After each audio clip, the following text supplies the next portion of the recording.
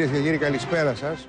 69 κατηγορούμενοι, 300 μάρτυρες, 120 συνήγοροι υπεράσπισης πολιτικής αγωγής, 100 διαπιστευμένοι δημοσιογράφοι, φωτορεπόρτερ από την Ελλάδα και το εξωτερικό, αναρρύθμιτοι μάρτυρες, πέραν από τους όσους έχουν κληθεί, που μπορεί να κληθούν και άλλοι, και μια δίκη που προορίζεται να κρατήσει πάνω από ένα χρόνο, ενάμιση, ουδής ξέρει πότε, ξεκίνησε σήμερα στις φυλακές Κορυδαλού. Ξεκίνησε σήμερα και θα συνεχιστεί την 7η Μαΐου. Αν την κάνει κάτι να είναι η δίκη του αιώνα, δεν είναι, δεν είναι ο αριθμός όσων μετέχουν στη δίκη, που να πούμε ότι, εν πάση περιπτώσει, θα μπορούσαν και σε κάποια άλλη δίκη να μετέχουν τόσοι και περισσότεροι. Είναι ότι για πρώτη φορά στη μεταπολεμική ιστορία η όλη η ηγεσία ενός κόμματος κάθεται στο εδόλιο με την κατηγορία εγκληματικής οργάνωσης. Και μιλάμε για ένα κόμμα το οποίο στις τρεις τελευταίες εκλογικές αναμετρήσεις εκπροσωπήθηκε στο Κοινοβούλιο με ικανό αριθμό ψήφων και βουλευτών και στην τελευταία ευρωπαϊκή εκλογή εκπροσωπήθηκε και στο Ευρωπαϊκό Κοινοβούλιο. Και συνολικά είναι σήμερα τουλάχιστον σε επίπεδο ψήφων και βουλευτών το τρίτο κόμμα στην Ελλάδα. Αυτό συμβαίνει για πρώτη φορά. Και αυτό είναι που την καθιστά ή που την ονόμασα στο διαφημιστικό της εκπομπής η δίκη του αιώνα. Θα δούμε αν με το αποτελέσμα θα δικαιώσει την προσδοκία ε, μιας πολύ μεγάλης υπόθεσης. Ή αν αυτός ο ένας, ενάμιση χρόνος πόσο κρατήσει αυτή η δίκη θα εκτραχηθεί σε διαδικαστικά, σε αναβολές, σε ε, ό,τι μπορεί να φανταστεί ο καθένας και θα χάσει κάθε ποινικό και πολιτικό ενδιαφέρον. Γιατί όπως καταλάβατε, όταν ένα κόμμα ολόκληρο κάθεται στο εδόλιο, ακόμα και αν είναι εγκληματική οργάνωση, η δίκη έχει και πολιτικό και ποινικό ενδιαφέρον, παρόλο που οι άνθρωποι αυτοί δεν διώκονται για τις ιδέες τους, διώκονται για εγκληματικές πράξεις, οι οποίες του αποδίδονται σύμφωνα με το κατηγορητήριο. Όλα αυτά τα κουβεντιάσουμε σήμερα στην εναρκτήρια ημέρα της δίκης. Θα έχουμε καιρό, υποθέτω, και μέσα στα επόμενους μήνες να επανέλθουμε με ανθρώπους που μετέχουν στη δίκη, με κάποια θέση, με κάποιο τρόπο καθένας, με ανθρώπους οι οποίοι ξέρουν νομικά και μπορούν να κουβεντιάσουν για αυτό που συμβαίνει, με ανθρώπους που έχουν μια άποψη για όλη την ιστορία του φαινομένου Χρυσή Αυγή και όσων ε, το ακολουθούν ή όσο το επιβαρύνουν ή όσο απλώς το συνοδεύουν. Λοιπόν, θα ξεκινήσω από τους συνηγόρους πολιτικής αγωγής. Μαζί μας είναι ο κύριος Θανάσης Καμπαγιάννης, είναι συνήγορος πολιτικός αγωγής για την υπόθεση των Αιγυπτίων αλλιεργατών. Στο κεντρικό στούντιο του Μέγκα είναι ο κύριος Γιώργος Μαραγκός. Ο κύριος Γιώργος Μαραγκός είναι ο συνήγορος πολιτικής αγωγής της οικογένειας Φίσα. Καλησπέρα. Καλησπέρα κύριε Μαραγκή. Πάμε στην υπεράσπιση. Ο κύριος Περικλής Σταυριανάκης είναι ο συνήγορος του Χρήστου Παπά. Ο κύριος Αλέξανδρος Αλεξιάδης είναι ο συνήγορος του Γιάννη Λαγού. Καλησπέρα. Καλησπέρα. Ο κύριος Βασίλης Καπερνάρος είναι ο συνήγορος του Νίκου Κούζιλου. Να πω και εγώ καλησπέρα. Και ευχαριστώ καλησπέρα για την και εσείς. Ο Δήμαρχος Ηλιούπολης, ο κύριος Βασίλης Βαλασόπουλος, μετέχει στη δίκη ως μάρτυρας. Είναι μάρτυρας για την υπόθεση της επίθεσης χρυσαυγητών σε ένα ε, κοινωνικό χώρο της Ηλιούπολης που ονομάζεται Συνεργείο, αν το λέω σωστά. Ακριβώς. Νομικός επίσης, αλλά και πρόεδρος του Συμβουλίου Ένταξης Μεταναστών του Δήμου Αθηνών είναι ο κύριος Λευτέρης Παπαγιανάκη. Καλησπέρα σας. Ο οποίος είναι από αυτούς που παρακολουθούν το παρατηρητήριο αυτό, δεν απαντώ, παρακολουθεί την δράση της Χρυσή Αυγή. Αυτό είναι το. Παρατηρη... Παρακολουθεί για την ακρίβεια την εξέλιξη της δίκης, όχι τη δράση της Την εξέλιξη της δίκης. Δύο πολύ γνωστοί νομικοί είναι μαζί μας που δεν έχουν άμεση εμπλοκή στη δίκη. Ο κ. Μιχάλης Δημητρακόπουλος. Καλησπέρα, ούτε άμεση ούτε έμεση. Ναι. Γι' αυτό θα ήθελα να, ενδιαφέρον. να με γράφουν ως νομικός απόψε. Και ο κύριος Αντώνη και ο κύριος Αντώνης Βγόντζα. Καλησπέρα κύριε Πρωτοκλησιά. Και επίσης δύο συνάδελφοι, σίγουρα η Σοφία Φασουλάκη που θα τραβήξει μεγάλο κουπί στους επόμενους μήνες στην αίθουσα των γυναικείων φυλακών Κορυδαλού Θυμάμαι ακόμα όταν πήγαινε για τη δίκη 17 Νοέμβρη, πριν από 13 χρόνια, πώς περνάει ο καιρός. Αν θα εξακολουθήσεις στη... στα Ο κ. Παναγιώπουλο σήμερα ανακοίνωσε ότι θα γίνει εκεί. Ε, θα συνεχίσει στις 7. Από εκεί και πέρα δεν το ξέρω. Θα δούμε και ανάλογα τι αντιδράσει. Θα το δούμε. Και ο κύριος Πέτρος Τατσόπουλος, συγγραφέας και ε, άνθρωπος που έχει αντιδικήσει πολύ συχνά με τη Χρυσή Αυγή και με πολύ έντονο τρόπο. Τώρα, ε, Για- Να, να, να, να κάνω μια διευκρινιστική ερώτηση. Σήμερα ανεβλήθη η δίκη για να οριστεί, ότι ορίστηκε συνήγορο. Διεκόπη, διεκόπη. Διεκόπη, ναι, συγγνώμη, συγγνώμη, συγγνώμη. Διεκόπη η δίκη για τι 7 Μαου, γιατί ορίστηκε συνήγορο ενό των κατηγορουμένων που δεν είχε συνήγορο και του δόθηκε ο χρόνο να διαβάσει δικογραφία. Και Τα λέω έπρεπε να καλά. εκδοθεί και διάταξη. Και διάταξη. διάταξη που θα διορίζει και τυπικά. Ωραία. Λοιπόν, 7 Μαου ξεκινάμε. Μάλιστα. Τώρα, ε, ερώτηση πρώτη. Να μου πει ο κύριο Σταυριανάκη που είναι που εκπροσωπεί τον κύριο Παπά και ο κύριο Αλεξάνδρου, γιατί δεν πήγανε οι, οι, οι πελάτε σα σήμερα, γιατί δεν εκπροσωπηθήκανε. Αναμενόταν τι θα γινόταν. Δεν υπήρχε κανένας λόγος να είναι σε ένα δικαστήριο το οποίο οπωσδήποτε θα έχει μια διάρκεια. Θα πηγαίνουν εκεί ή δεν θα πηγαίνουν; Βεβαίως γιατί δεν πάνε. Ο κύριος ρωτάω. Υπάρχει, δεν δεν πήγα υπάρχει σήμερα λόγος. αυτό. Βεβαίως θα πάνε. Θα πηγαίνουν όταν έχουν κάτι να κάνουν. Έχουν και κοινοβουλευτικό έργο. Ναι.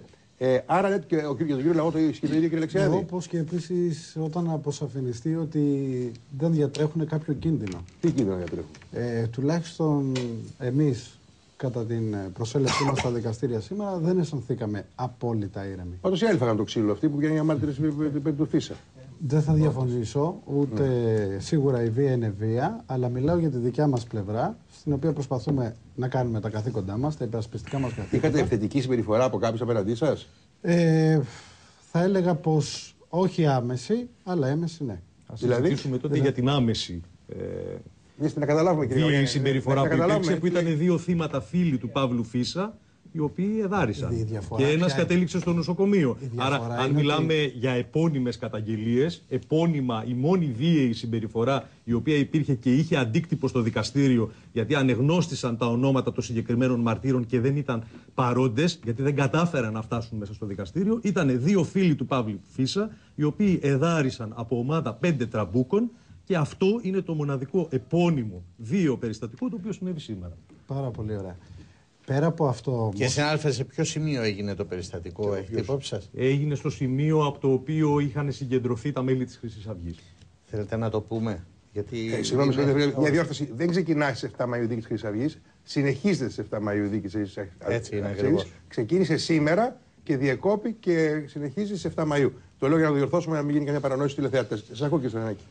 Λέω, αν μπορεί να μας διευκρινίσει ο συνάδελφος, εγώ ήμουν παρόν, αλλά ήμουν μέσα κύριε συνάδελφε, δεν μπορούσα να παρακολουθήσω τα έξω τεκτε- τεκτενόμενα. Αλλά πού έγινε το περιστατικό; Η ενημέρωση θα υπάρξει, ε, είναι πολύ πιο αρμόδια από μένα οι συνήγοροι της ε, οικογένειας του Παύλου Φίσα που θα σας δώσουν και την εικόνα. Πάντως είναι ενημέρωση η οποία είναι υπεύθυνη, είναι από τις αστυνομικές και τις δημοτικές αρχές της πόλης και μ, σε καμία σημείο περίπτωση ψάχνω, δεν είναι κύριε λαθασμένη. Στανάκη. Έγινε, Το σημείο ψάχνω, έγινε κύριε στο σημείο από το οποίο είχαν συγκεντρωθεί τα μέλη της Χρυσής Αυγής. για να επανέλθω... Με ό,τι συνάδελφε, αυ- με κύριε ό,τι αυτό συνάδελφε, σημαίνει. Κύριε Με ό,τι συνάδελφε, αυτό ξέρετε τι θέλω να σας πω. Ότι εγώ ήμουνα μέσα και δεν ξέρω τι έγινε και το επαναλαμβάνω. Όμως, ακούστηκε από κάποιον και σημαίνει, ήταν και γιατρός του νοσοκομείου, ότι αυτό έγινε έξω από την αίθουσα του δικαστηρίου, στο δρόμο επάνω. Και από ό,τι ξέρετε, σ- ε, στο χώρο αυτό δεν μπορούσε να γίνει κάτι τέτοιο. Να επαναλάβουμε γιατί μάλλον κάποιοι δεν το ακούσανε. Δύο άτομα τα οποία ήταν μάρτυρες. Ήταν να προσέλθουν. Καταρχήν τους είδαμε στο στην τηλεόραση, δικαστήριο. είναι Κατέβηκαν από το αίματα. λεωφορείο, Ακριβώς. κύριε Καπαγιάννη, κατέβηκαν από το λεωφορείο και στον δρόμο για να έρθουν στη Σολομού, Έτσι. εκεί Α, καταγγέλουν ακριβώς. ότι εδάρισαν από 7 έως 8 άτομα της Στη Χρυσής Λαμπράκη Αυγής. εννοούμε. εννοούμε. Εννοούμε Ζαγητών. σε ένα σημείο κοντά στη Λαμπράκη. Στη ναι. Λαμπράκη λοιπόν. Η Λαμπράκη λοιπόν ήταν ένας χώρος ο- στον οποίο είχαν μαζευτεί διαδηλωτές κάποιων παρατάξεων και δεν θέλω να γίνω πιο σαφής και δεν ενδιαφέρει ενδεχομένως. Εν πάση περιπτώσει, οι χρυσαυγίτες που βρέθηκαν εκεί όμως. Μα λίγοι ξαβί τους δίνανε. Ε, καλά. Έτσι δίνανε καταγγέλουν. και τον ορφανό όμως. Χρυσαυγίτες και λέει ορφανός Όχι, δεν με αυτό δίνανε θα- θα χρυσαυγίτες. προσθέσετε. Τα λέω τώρα. Και η άλλη πλευρά τώρα. Λοιπόν, δεν ξέρω αν είναι δάρη δεν ή θέλω από να πω τώρα. αποδοκιμάστηκε. Δεν θέλω να Ο πω Νίκος κάτι. Ορφανός, ο βουλευτής του Ποταμιού, Αποδοκιμάστηκε έντονα. πήγε Ήμουν να, εντός. να διαδηλώσει εναντίον της ε, δίκης της Χρυσή Αυγή, εν πάση περιπτώσει, και αποδοκιμάστηκε από την άλλη πλευρά τώρα από τους αντιεξουσιαστέ που του είπαν φύγε από εδώ πέρα ή τους αντιφασίστες. Εδώ δεν μιλάμε για μια αποδοκιμασία όμως, μιλάμε για ένα βίαιο περιστατικό Λοιπόν, όπου δύο άτομα ξέρετε, εδάρισαν ξέρετε γιατί και δεν σας το λέω. κατόρθωσαν να έρθουν στο Σας δικαστήριο. το λέω Είναι αυτό. σημαντικό, είναι σημαντικό αυτό να το κρατήσουμε Σε κάθε για την- περίπτωση. Εγώ είμαι μια ένας στρατηγική βία. τρομοκράτησης που υπάρχει Σε από κάθε, την περίπτωση, οργάνωση. σε κάθε περίπτωση θα πρέπει να ξέρουν όλοι ότι όταν χτυπάνε ένα μάρτυρα υπεράσπισης ή κατηγορίας δεν προσφέρουν καμία υπηρεσία στο να γίνει μια δίκαιη δίκη. Εάν έχουν παράπονα για την αξιοπιστία ενός μάρτυρος υπάρχουν θεσμικά οι συνήγοροι περασπίσεω, οι οποίοι μπορούν με τις ερωτήσεις τους να ξεφλουδίσουν την αξιοπιστία Μα δεν του νομίζω μάρτυρα. τους δίρανε ως, ε, Όταν αυτούς χτυπάνε τους μάρτυρες, προσφέρουν κακή υπηρεσία σε αυτούς τους οποίους υποστηρίζουν. Κανόνας. το ξέρω Εάν το θέλει, μάρτυρα. όποιος χτύπησε. Μα είπαν εδώ πέρα, έχω έναν συνάδελφο, ο οποίος λέει ότι ήταν μάρτυρες στη δίκη του χτυπήσανε. Βεβαίως, Δεν μπορώ ήτανε- να μην θεωρήσω ήτανε- ότι είναι την ήτανε- αλήθεια. ήτανε δύο μάρτυρες που Έτσι. ανεγνώστησαν τα ονόματά Θα τους πρέπει- στη διάρκεια της Και μετά τους διαδικασίας. δίρανε, μετά τους δίρανε. Δεν κατάφεραν ποτέ Να να έφτασαν. φτάσουν Άρα- στο δικαστήριο. Άρα είναι δεδεωμένο ότι ήταν μάρτυρες. Δεν υπάρχει Συμπερασματικά, καμία αμφιβάλλουμε- αμφιβολία. θα Δεν πρέπει σχέση. Κύριε Βρεδεδέλη. να προστατεύουν όλη τη σωματική ακαιρεότητα των μαρτύρων Καλά, και πάντως τώρα, επαναλαμβάνω δεν ξέρω, στο σήμερα γίνανε- ακροατήριο σήμερα Η γίνανε επισήμανση θα του ξεκινήσουν κυρίου Μητρακόπουλου οι είναι ερωτήσεις των σημαντική. συνηγόρων Καμία υπεράσπισης. αντίρρηση. Αλλά Σήμερα γίνανε λέμε- αυτά, πάντως δεν θα συνεχίσει αυτή η ιστορία κάθε φορά που έχει μια δίκη. Αν με 1,5 χρόνο θα μαζεύονται οι αντιφασίστες και οι- Ευχόμαστε. ε, Γιατί να πλακώνονται εκεί πέρα. δεν ευχόμαστε καταλαβαίνω. για την ασφάλειά Γιατί μας. να έχουμε διαδηλώσεις, γιατί να έχουμε πανό. Δεν το αντιλαμβάνομαι Σωστά. προσωπικά εγώ. Πολύ σωστά. Θα Αυτό πω θα κάτι το οποίο πρέπει να το έχουν όλοι τους υπόψη. Υπάρχουν αρκετές αποφάσεις του Ευρωπαϊκού Δικαστηρίου Ανθρωπίνων Δικαιωμάτων που θεωρεί άκυρες τις δίκες όπου είτε σωματικά, με σωματική παρουσία είτε διαμέσου των μέσων μαζικής ενημέρωσης προπυλακίζονται είτε η μεν είτε η δε. Να σας εξηγήσω, κύριε Βότζα, για ποιο λόγο χρειάζεται να υπάρχουν διαδηλώσεις. Όχι. Γιατί επί 20 χρόνια η δικαιοσύνη δεν έκανε τη δουλειά της. Με συγχωρείτε. Επί Όχι, 20 όχι, χρόνια όχι, όχι. υπήρχαν Θα εγκληματικές υποκαταστήσουμε- έπρεπε να γίνει Θα μια ιδέα σήμερα. υποκαταστήσουμε Αλλά τους- Εμείς πρέπει να κάνουμε τη δουλειά μας. Αλλά Αυτό, η πίεση, παρακαλώ μόνο η για το- πίεση, η ένας, πίεση, η πίεση της Μαζί είναι εσείς το κοινωνίας λόγο. ήταν αποφασιστική προκειμένου να ξεκινήσει η συγκεκριμένη ποινική Ωραία, δίωξη. ξεκίνησε Ας όμως. μην αμφιβάλλουμε. Άμα δεν υπήρχε η αντιφασιστική κινητοποίηση και η κατακραυγή μετά τη δολοφονία του Παύλου Φίσα, δεν θα ξεκίναγε η συγκεκριμένη ποινική δίωξη. Υπάρχουν ήδη από τη δεκαετία του 90 αμετάκλητες καταδικαστικές αποφάσεις κατά ηγετικών στελεχών της Χρυσής Αυγής και ποτέ δεν έγινε η διαδικασία της συσχέτισης. Καμπαγιάννη, η Θα ερώτηση- μπορούσαμε να έχουμε γλιτώσει αίμα. Καμπαγιάννη, Από αυτό- εκεί και αυτό- πέρα αυτή είναι η λοιπόν. ιστορία. Από εκεί και πέρα σήμερα λοιπόν. κιλά για- που για- απαντήσουμε Γι' αυτόν τον Μην λόγο. μιλάτε όλοι μαζί, παρακαλώ. Η ερώτηση είναι απλή. Ωραία, αυτά που λέτε είναι να δεχτώ και να τα προσπογράψω. Σήμερα όμως έχουμε 69 κατηγορούμενους στο δικαστήριο. Έχουμε 300 συνηγόρους περάσει και πολιτική αγωγής, όχι 120. 300 μάρτυρες. Έχουμε μια δίκη εντυπωσιακή. Έχουν απόλυτο τον κόσμο για να τη δούνε. Τι προσθέτουν σε αυτό το πράγμα οι διαδηλώσεις, ξέρω εγώ. Διάβαζα σήμερα ο φασισμός, Η πεθαίνει στον ΑΔΔ. δρόμο. ή ξέρω Και η εγώ. ΑΔΔ. προσθέτουν την εικόνα ότι η κοινωνία παρακολουθεί, η κοινωνία ελέγχει, η δικαστική εξουσία δεν πρόκειται να είναι έξω από τους προβολείς άμα επιτρέψεις στη συγκεκριμένη εγκληματική οργάνωση να πέσει στα μαλακά όπως Μα το τι είναι έχει αυτά, κάνει καταλάβαμε, πολλές, κύριε. όπως το έχει Όνομα. κάνει Καλά, πολλές είναι φορές παράδοξο. Αυτά είναι μέχρι σήμερα ανεπίτρεπτα. και για Αυτά αυτόν τον είναι λόγο ανεπίτρεπτα. εμείς από τη ανεπίτρεπτα. δικιά μας την πλευρά Αυτά είναι θέλουμε ανεπίτρεπτα. διαρκώς την παρουσία κόσμου έξω από τα Δηλαδή, δικαστήρια αυτή τη στιγμή- γιατί έχουμε Ωραία, δει καταλάβατε Σας τι είναι το παρακαλώ, προκαλούν για να- για να ολοκληρώσω. Καταλάβατε τι Ολοκληρώσω. γίνεται. Γιατί έχουμε δει τη διαδικασία της τρομοκράτησης σε δίκες στις οποίες δικάζονταν στελέχη της Χρυσής Αυγής, όπου τρομοκρατούνταν μάρτυρες, όπου δεν μπορούσαν να μπουν στην αίθουσα γιατί έπρεπε να περάσουν μέσα από μαυροφορεμένους φουσκωτούς. Δεν πρόκειται να έχουμε τέτοιου τύπου εικόνες σε αυτήν εδώ τη δίκη. Αυτή η τρομοκράτηση έχει τελειώσει. Ο κόσμος σήμερα έδειξε ότι δεν φοβάται.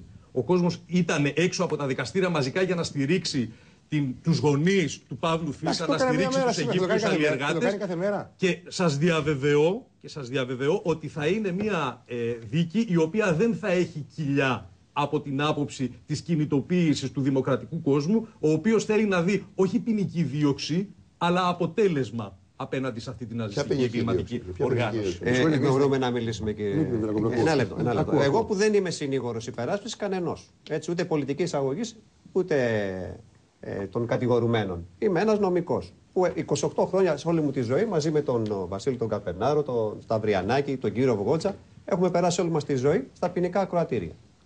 Οι φωνητικές μας χορδέ έχουν τη σκόνη των ακροατηρίων. Δεν μπορώ να πιστέψω ότι αυτή τη στιγμή αιτείται ο συνήγορος πολιτικής αγωγής, που καλά κάνει και έχει έτσι ένα φλογερό πάθος, ότι για να μπορέσει να αποδοθεί δικαιοσύνη θα πρέπει να γίνονται έξω διαδηλώσεις. Δηλαδή το δικαστήριο να είναι συνεχώς υπό μία πίεση.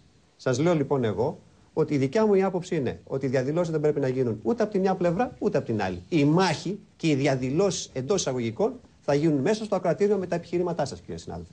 Εάν έχετε επιχειρήματα, η δικαιοσύνη θα λειτουργήσει πάνω στα δικά σας επιχειρήματα. Αν νομίζετε ότι μπορεί να αποδοθεί δικαιοσύνη υπό την απειλή των διαδηλώσεων, κάνετε λάθος. Κράτος δικαίου, το οποίο έχει ένα δικαιικό σύστημα το οποίο αποφασίζει με αυτούς οι οποίοι είναι απ' έξω και φωνάζουν, ε, αυτό δεν είναι κράτος δικαίου. Αυτό είναι Ο κ. κάτι άλλο. Τατσόπουλο. Εγώ θα συμφωνήσω καταρχάς με τον κύριο Καμπαγιάννη ότι όντως το κλίμα στις τελευταίες δίκες ενδεικτικά αναφέρω την περίπτωση της Λιάνας Κανέλη με τον Κασιδιάρη όπου πραγματικά υπήρχε ένα τρομοκρατικό κλίμα και μέσα στην αίθουσα. Υπήρχαν χρυσαυγίτες που φωνάζανε; Βεβαίως. Βεβαίως. Πρίζαν τη Λιάνα κλπ. Και μάλιστα η, η αντίδραση της έδρας ήταν πάρα, πάρα πολύ ήπια έως ανεπαρκής. Τι λες; Λοιπόν, αυτό είναι το ένα. Όντως δεν πρέπει αυτό το κλίμα της τρομοκρατίας να περάσει μέσα στην Σωστό, αίθουσα αυτό συμφωνούμε. ούτε, ούτε στους Συμφωνούμε. χώρους. Από εκεί και πέρα. Από εκεί και πέρα. Την ασφάλεια και των μαρτύρων κατηγορίας και των μαρτύρων υπεράσπισης όλων των παραγόντων πρέπει να το- την αναλάβει η πολιτεία. Είναι δικιά της ευθύνη ευθύς εξ αρχής της πολιτείας και μόνο. Δεν Δεν, ισχυρίζεται πρόκειται κανείς για κάποιο λαϊκό άλλο. δικαστήριο. Δεν θα κάνουμε πολι- πολιτοφυλακή. Δεν πρόκειται για λαϊκό δικαστήριο. Άρα δεν μπορεί να γίνεται αυτό που λέτε κύριε Καμπαγιάννη, ότι ασκούν πίεση με την παρουσία τους. Είναι άλλων καθεστώτων ίδιο. Να, να φέρουμε... τις- γιατί ο Κορυδαλός ο ίδιος, η κοινότητά του, ο Δήμος του, δεν αντέχει αυτή τη στιγμή πίεση δηλώ- ε, διαδηλώσεων και αντιδιαδηλώσεων επί δύο χρόνια μίνιμουμ θα κρατήσει η δίκη. Γιατί ήσουν πολύ αισιόδοξος όταν έλεγες για ένα χρόνο. Λοιπόν, η πολιτεία, και είναι και μια πολιτεία που σήμερα είναι μια κυβέρνηση της αριστεράς επάνω, ε, δεν μπορεί να εξασφαλίσει αυτό το μίνιμουμ του χώρου της ασφάλειας όλοι κατηγορούμενοι, κατήγοροι να μπορούν να προσέρχονται με ασφάλεια και χρειάζονται να γίνονται διαδηλώσεις και αντιδιαδηλώσεις. Σήμερα χτυπήσαν οι τραμπούκοι τους ε, μάρτυρες κατηγορίας. Ωραία. Αύριο μπορεί να συμβεί το ανάποδο. Υπήρξε προπυλακισμός του βουλευτή του Ποταμιού, του κ. Ορφανού, ναι. Ορφανού. Δεν μπορούμε να το πάμε σκηνή κορδόνι αυτό επί δύο χρόνια. Απαράδεκτα Δεν πράγματα. υπάρχει αντοχή στην, πο- στην κοινωνία για δύο χρόνια διαδηλώσεων και Λοιπόν, ο αντιδιαδηλώσεων. κύριο. Αυτός ο πρώτος γύρος νομίζω ότι ακούστηκε μια Η άποψη. σημερινή εμπειρία πάντως δεν είναι καλή. Όχι, Τα όχι δρακόντια από όλους. μέτρα δεν απέδωσαν. Όχι Ναι, από όλους. Δύο ήταν άνθρωποι όχι από ανεπαρκέστατα. όλους, θα μιλήσουμε για Δεν εμείς. ήταν Δύο άνθρωποι δρακόντια. δάρισαν. Ήταν διάτρητα τα Κύριε μέτρα. Καβαγιάννη. Άρα ήταν διάτρυπο. Μέσα στην αίθουσα το κλίμα ήταν τέτοιου τύπου με, όπως περιέγραψε ο Πέτρος για τη δίκη της κυρίας Κανέλη. Όχι, όχι, μέσα στην αίθουσα ε, το κλίμα ήταν κανονικό και η η Μάλιστα. υπόθεση κύλησε, Γιάννη, η ήταν εκδίκαση κανονικό το αυτό είναι κλίμα πολύ γιατί σημαντικό. δεν, κύλησε κανονικά. δεν υπήρχαν μέσα ε, οπαδοί της μιας πλευράς ή της άλλης. Πολύ σημαντικό αυτό. Έτσι νομίζω ότι η ηρεμία υπήρχε Γιατί μέσα δεν στα έχει και πολλές πράγματα. θέσεις ελεύθερες. Πώς είναι για να φέρουμε και τάγματα από εδώ. Δεν κάθονται οι δικηγόροι. Δεν τώρα, υπάρχουν υπάρχει- Άρα Οι συνεπώς συνθήκες πώς θα μέσα στην έρθουν οι αίθουσα είναι οι απαράδεκτες. Δεν μαυροφορεμένοι νομίζω να ότι δίνουν. μπορεί Και ε, κακοί δικηγόρος να ασκήσει κοκκινοφορεμένοι τα από τα καθήκοντά του. Αδιαχώρητο. Μιλούμε είναι για πάντως αδιαχώρητος. τρόπος να πάψει να είναι δημόσια η δίκη προκειμένου να έχουμε Σωστό. ειρήνευση μέσα στην Σωστό. αίθουσα. Αλλά η η δίκη πολιτεία θα πρέπει- συνταγματικά πρέπει να είναι δημόσια. Και γι' αυτό το λόγο θεωρούμε εμείς, σαν πολιτική αγωγή, ότι θα πρέπει η δίκη να διεξαχθεί στο φυσικό της χώρο. Ποιος ο είναι φυσικός αυτός; της χώρος είναι το, το εφετείο. Ε, μα τι το λέτε εφετείο τώρα, Αθηνών. δεν έχει Κύριε Καβαγιάννη, δεν Προφανώς υπάρχει και αίθουσα. υπάρχει Ποια αίθουσα. είναι αυτή, μα Υπάρχει τι η λέτε; αίθουσα της εκδηλώσεων, των εκδηλώσεων Των του πολλαπλών εφετείου, χρήσεων. η οποία, η οποία έχει και ανεξάρτητη πρόσβαση. Δεν πρόκειται δηλαδή να ενοχλεί την εκδίκαση των υπόλοιπων υποθέσεων και θεωρούμε ότι αυτός είναι ο φυσικός χώρος. Για ποιο λόγο να γίνονται δίκες στις φυλακές; Αυτή τη στιγμή, εξάλλου, οι περισσότεροι, και θα με διορθώσουν άμα κάνω λάθος οι κύριοι συνήγοροι, οι περισσότεροι εκ των κατηγορουμένων δεν είναι στη φυλακή. Ναι, Άρα αλλά για ποιο αν- λόγο αν να γίνει- γίνεται αν γίνει έχουν στο- γίνει αν γίνει στο λοιπόν; εφετείο και Έχουν γίνει συνεχιστούν πάρα οι- πολλές οι δίκες συγκεντρώσεις σε και αυτές τις αντισυγκεντρώσεις, αίθουσες. Και η θα δίκη της παραλύσει 17 η πόλη για δύο χρόνια. Δεν είναι Ε, καθόλου ε, να πω η κάτι. δίκη Εγώ- της Εγώ 17 καταλαβαίνω ότι- Φόρο Αλεξάνδρας. ότι οι φυλακές προσφέρουν και μια ασφάλεια μεγαλύτερη.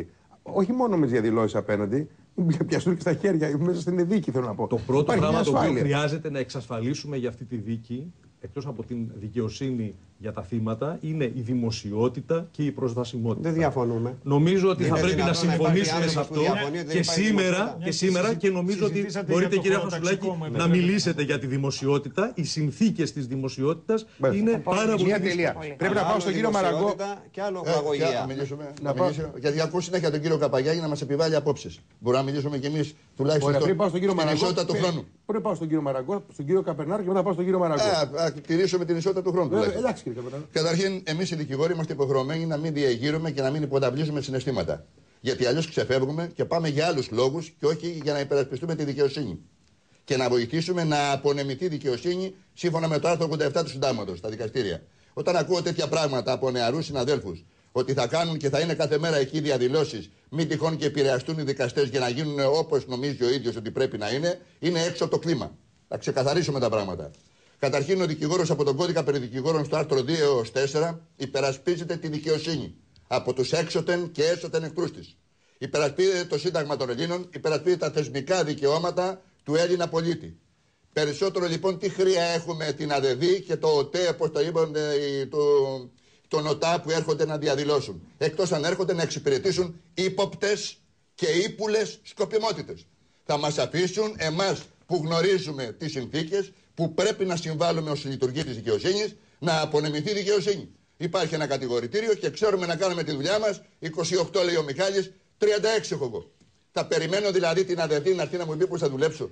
Πώς θα πάμε να προστατεύσουμε τους εαυτούς μας, τους θεσμούς, τη δικαιοσύνη, τους κατηγορούμενους και τους πολιτικούς ενάγοντες; Τι είναι αυτά τα πράγματα που ακούγονται δηλαδή. Δεν πρόκειται να Κάντε μας τη χάρη, παρακαλώ πολύ. Κάντε μας τη χάρη. Και δεν πρόκειται τα σωματεία τα οποία αποτέλεσαν αντικείμενο, αντικείμενο επίθεσης της Χρυσής Αυγής να μην είναι παρόντε σε αυτή τη δίκη.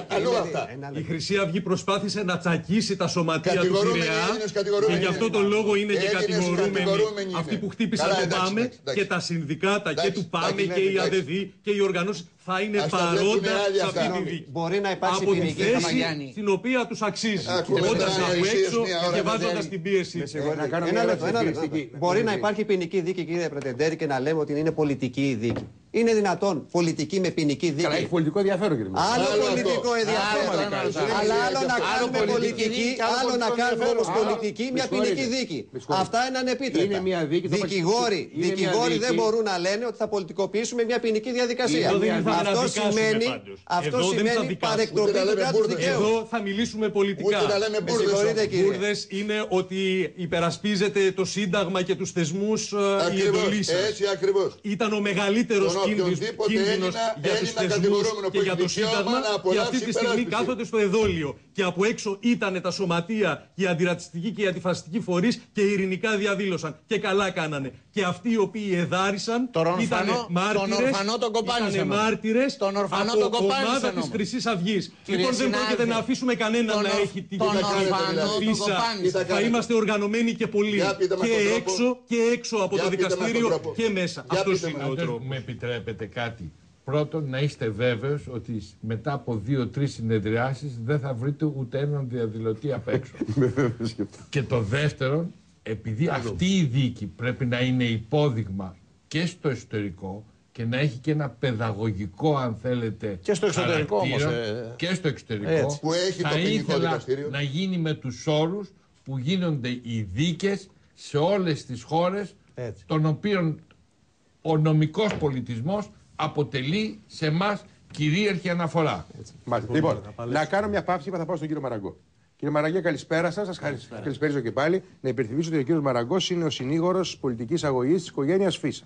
Θέλω να μου πείτε, δεν θέλω να τοποθετείτε σε αυτά που ακούσατε. Αν θέλετε να πείτε κάτι ευχαρίστως. Όχι, όχι, πρέπει να τοποθετηθούμε για το, με δύο κουβέντες.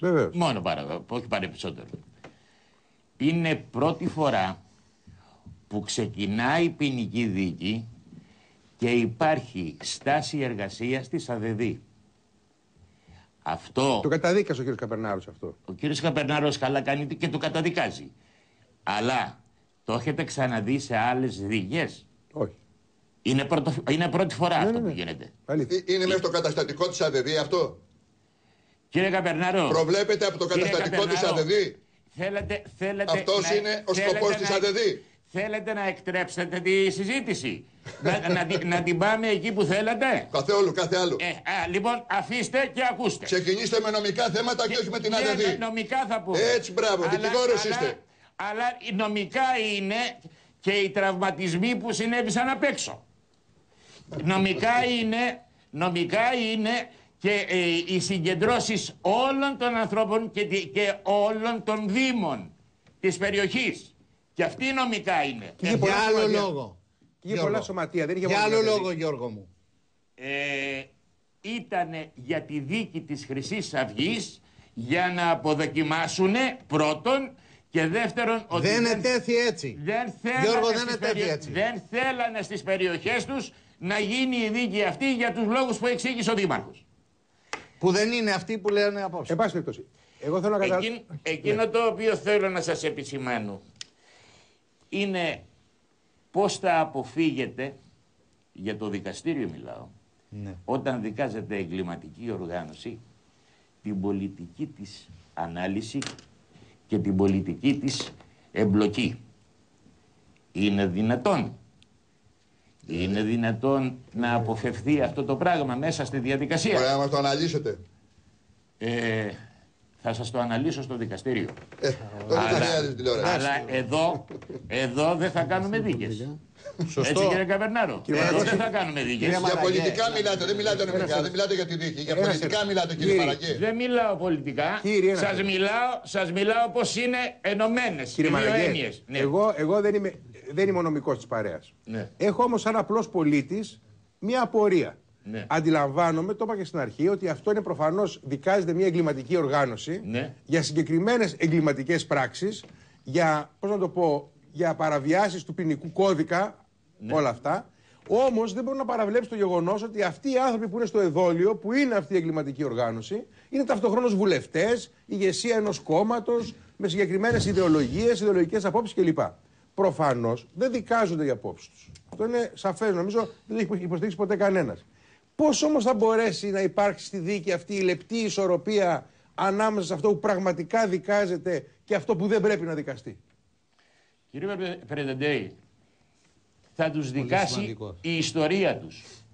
Αυτή η ιστορία των αγρίων πράξεων που έχουν ξεκινήσει από την περίοδο του 90, ίσως και νο- αργο- νωρίτερα, με ξυλοδαρμούς, με τον Περίανδρο, με επεισόδια μέσα στη σχολή Ευελπίδων. Ναι, αλλά ο περίεργο συνελήφθη, καταδικάστηκε, εξέτσε την ποινή. του. Ναι, δικός τους ήταν. Και δεν είναι κατηγορούμενος σήμερα. Δι, δικός τους ήταν. Ναι, θέλω να πω ότι πλήρωσε αυτός.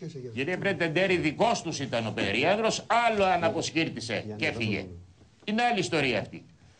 Εγώ σας, λοιπόν θα σας πω ότι τα ίδια που συνέβησαν σήμερα το πρωί στους μάρτυρες του Φίσα έχουν συμβεί το 92, δεν θυμάμαι ακριβώς τώρα την ημερομηνία, στη Φωκίωνος Νεγρή που χτυπήσανε τους αρισ- αριστεριστές δεν είμαι αριστερός για να το ξεχωρίσουμε. Δεν είναι έτσι. Δεν, αλλά χτυπήσανε εκεί αριστεριστές και του, τους οποίους τραυμάτισαν κατά τρόπο φρικτό. Σήμερα στην εκπομπή έπρεπε να έχετε τους τραυματιστέντες, τους οποίους τους δείχνανε τα κανάλια από το Γενικό Κρατικό.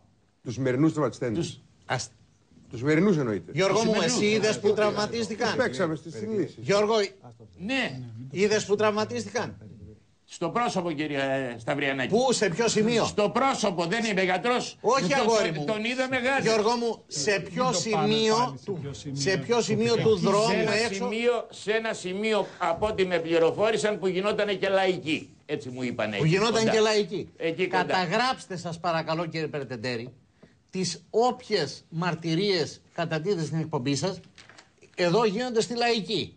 Κάπου αλλού μας είπαν, άκουσα από την ε, κυρία Φαντάσου, Θασουλάκη, είναι- να μας λέει ε, ότι... σε- Σε αυτό ο- που λέει ο όπως- κύριος Μαραγκός είναι ένας δρόμος πάνω από τη Γρηγορίου Λαμπράκη. Ε, σύμφωνοι. Που δίνεται Ναι, λαϊκή. αλλά Αλλά, Βίαμ καλή συγγνώμη, δεν κύριε είναι Σταναδάκη, επειδή δεν Τώρα θέλετε δεν να έχει παρέξει το σημασία πού. αυτό. Τι, τι θέλετε να πείτε με το πού. Ο- Αμφισβητεί το γεγονός. Το γεγονός το είδαμε. Το είχαμε το μέλο τη ειδήσεις. Κύριε, κύριε Κύριε Περτεντέρη, εγώ αμφισβητώ το δράστη. Α, μάλιστα. Όχι το γεγονός. Ξεκαθαρισμένα Λέτε πράγματα. δηλαδή ότι οι ομοειδεάτες τους τους χτύπησαν. Κύριε... Το θεωρείτε φυσικό αυτό. Το θεωρείτε Κοιτάξτε να φυσικό. Δείτε. Κύριε- κύριε Ότι είχαν μόλοπες στο πρόσωπο και οι Επειδή ομοειδεάτες εγώ τους σας μόλις έχω τους ακούσει είδαν. να μιλάτε για Μόλις προβοκάτσιες. τους είδατε τους Και ομοειδεάτες σέβομαι τους. το λόγο σας. Ναι, αυτό λέτε. Το έχετε πει πολλές φορές. Αυτό λέτε ότι ομοειδεάτες Δεν τους ξέρω τι μου βλέπουν και έγινε. τους χτυπάνε. Εδώ έφαγε ξύλο Αυτό και λέτε. ορφανός. Και το ξέρετε. Κύριε Μαραγκέ, Δεν είπε ποτέ ότι οι Βιάστε, κύριε, ομοειδεάτες βιάστε, τον κύριε, χτύπησε. κύριε, κύριε, Ίσως Εσείς σκόνταψε σε λέτε μια αυτή τη στιγμή ζαρτινιέρα, κάτι ίσως τόσο σκόνταψαν σε Δεν μια είπα για ζαρτινιέρα ζαρτινιέρες εγώ. οι Σε λίγο δύο θα πείτε, ναι, μάρτυρες Θα πείτε ότι και αυτός σκοντάψανε. Δεν, με συγχωρείτε όμως, έχω κάνει μια ερώτηση στον κύριο Μαραγκό και έχει μείνει μετέωρη. Και περιμένω να απαντήσω. Σωστό. Κύριε Μαραγκέ, θέλω να μου πείτε πώς σκοπεύετε να χειριστείτε αυτή τη λεπτή ισορροπία της δίκης ανθρώπων που διέκονται για συγκεκριμένες πράξεις και που ενδεχομένως εμφορούνται από διάφορες ιδέες απεχθείς για μας κατά τα άλλα, αλλά δεν διώκονται για αυτές. Δεν είναι μια λεπτή ισορροπία αυτό; Ε, είναι μεν ισορροπία όπως το θέτετε, αλλά σας είπα και προηγουμένως, δεν μπορείτε να αποκλείσετε μέσα από την ποινική διαδικασία και όλους τους άλλες παραμέτρους. Τις Όχι, οποίες- όχι. Προφανώ, σας είπα πρώτος, εγώ τις έθεσα. Έχω όμως εδώ το συνήγορο του, του, του κυρίου Λα- του, του Λαγού, ο οποίος διώκεται ειδικά για το φόνο του Παύλου Φίσα. Ο λαγός διώκεται. Για την ηθική αυτουργία, όχι. Όχι. Δεν υπάρχουν ηθικέ αυτολογίε. Αν είναι εγκληματική Βουλευτές οργάνωση. έχουν Έπα μόνο για την ένταξη περίπτωση αυτή. και Λέω, διεύθυνση. πε- θέλω ειλικρινά να μου εξηγήσετε. Η, πε- η, η δολοφονία του Παύλου Φίσα είναι ένα δραματικό γεγονός από μόνο του. Είναι μια ποινική Τραγικότατο. πράξη. Και γι' αυτό διώκονται άνθρωποι, να το πω έτσι. Αυτοί οι άνθρωποι, αν τον σκότωσαν επειδή είναι χιτλερικοί, επειδή είναι μουσολινικοί, επειδή είναι με- μεταξικοί, επειδή είναι αυτό, δεν αφορά τη συγκεκριμένη υπόθεση της δολοφονίας του Παύλου Φίσα. Αυτό θέλω να πω. Πώ την αφορά; Με συγχωρείτε πάρα Α, πολύ. αυτό θέλω να ακούσω. Που με συγχωρείτε πάρα πολύ. Δηλαδή, αν δεν είχαν αυτές τις ιδεολογίες και επειδή ήταν στην τοπική κοινωνία ο Φίσας, ήταν ο, γους- ο γνωστός μουσικός τραγουδοποιός που ενοχλούσε, θα τον σκότωναν. Δεν το ξέρω, όχι εσείς το λέτε. Ακούω Δεν να τον το λέτε. σκότωναν. Με συγχωρείτε πάρα πολύ. Κύριε Μαραγκέ, λέτε ότι ήταν στοχοποιημένος λοιπόν ο Παύλος Φίσας. Σαφέστατα ήταν. Σαφέστατα ήταν. Να ρωτήσω κάτι, Γιώργο μου. Αγαπημένε, πες μου σε παρακαλώ. Από την ιστορία της δολοφονίας του Φίσα, ποιος ζημιώθηκε;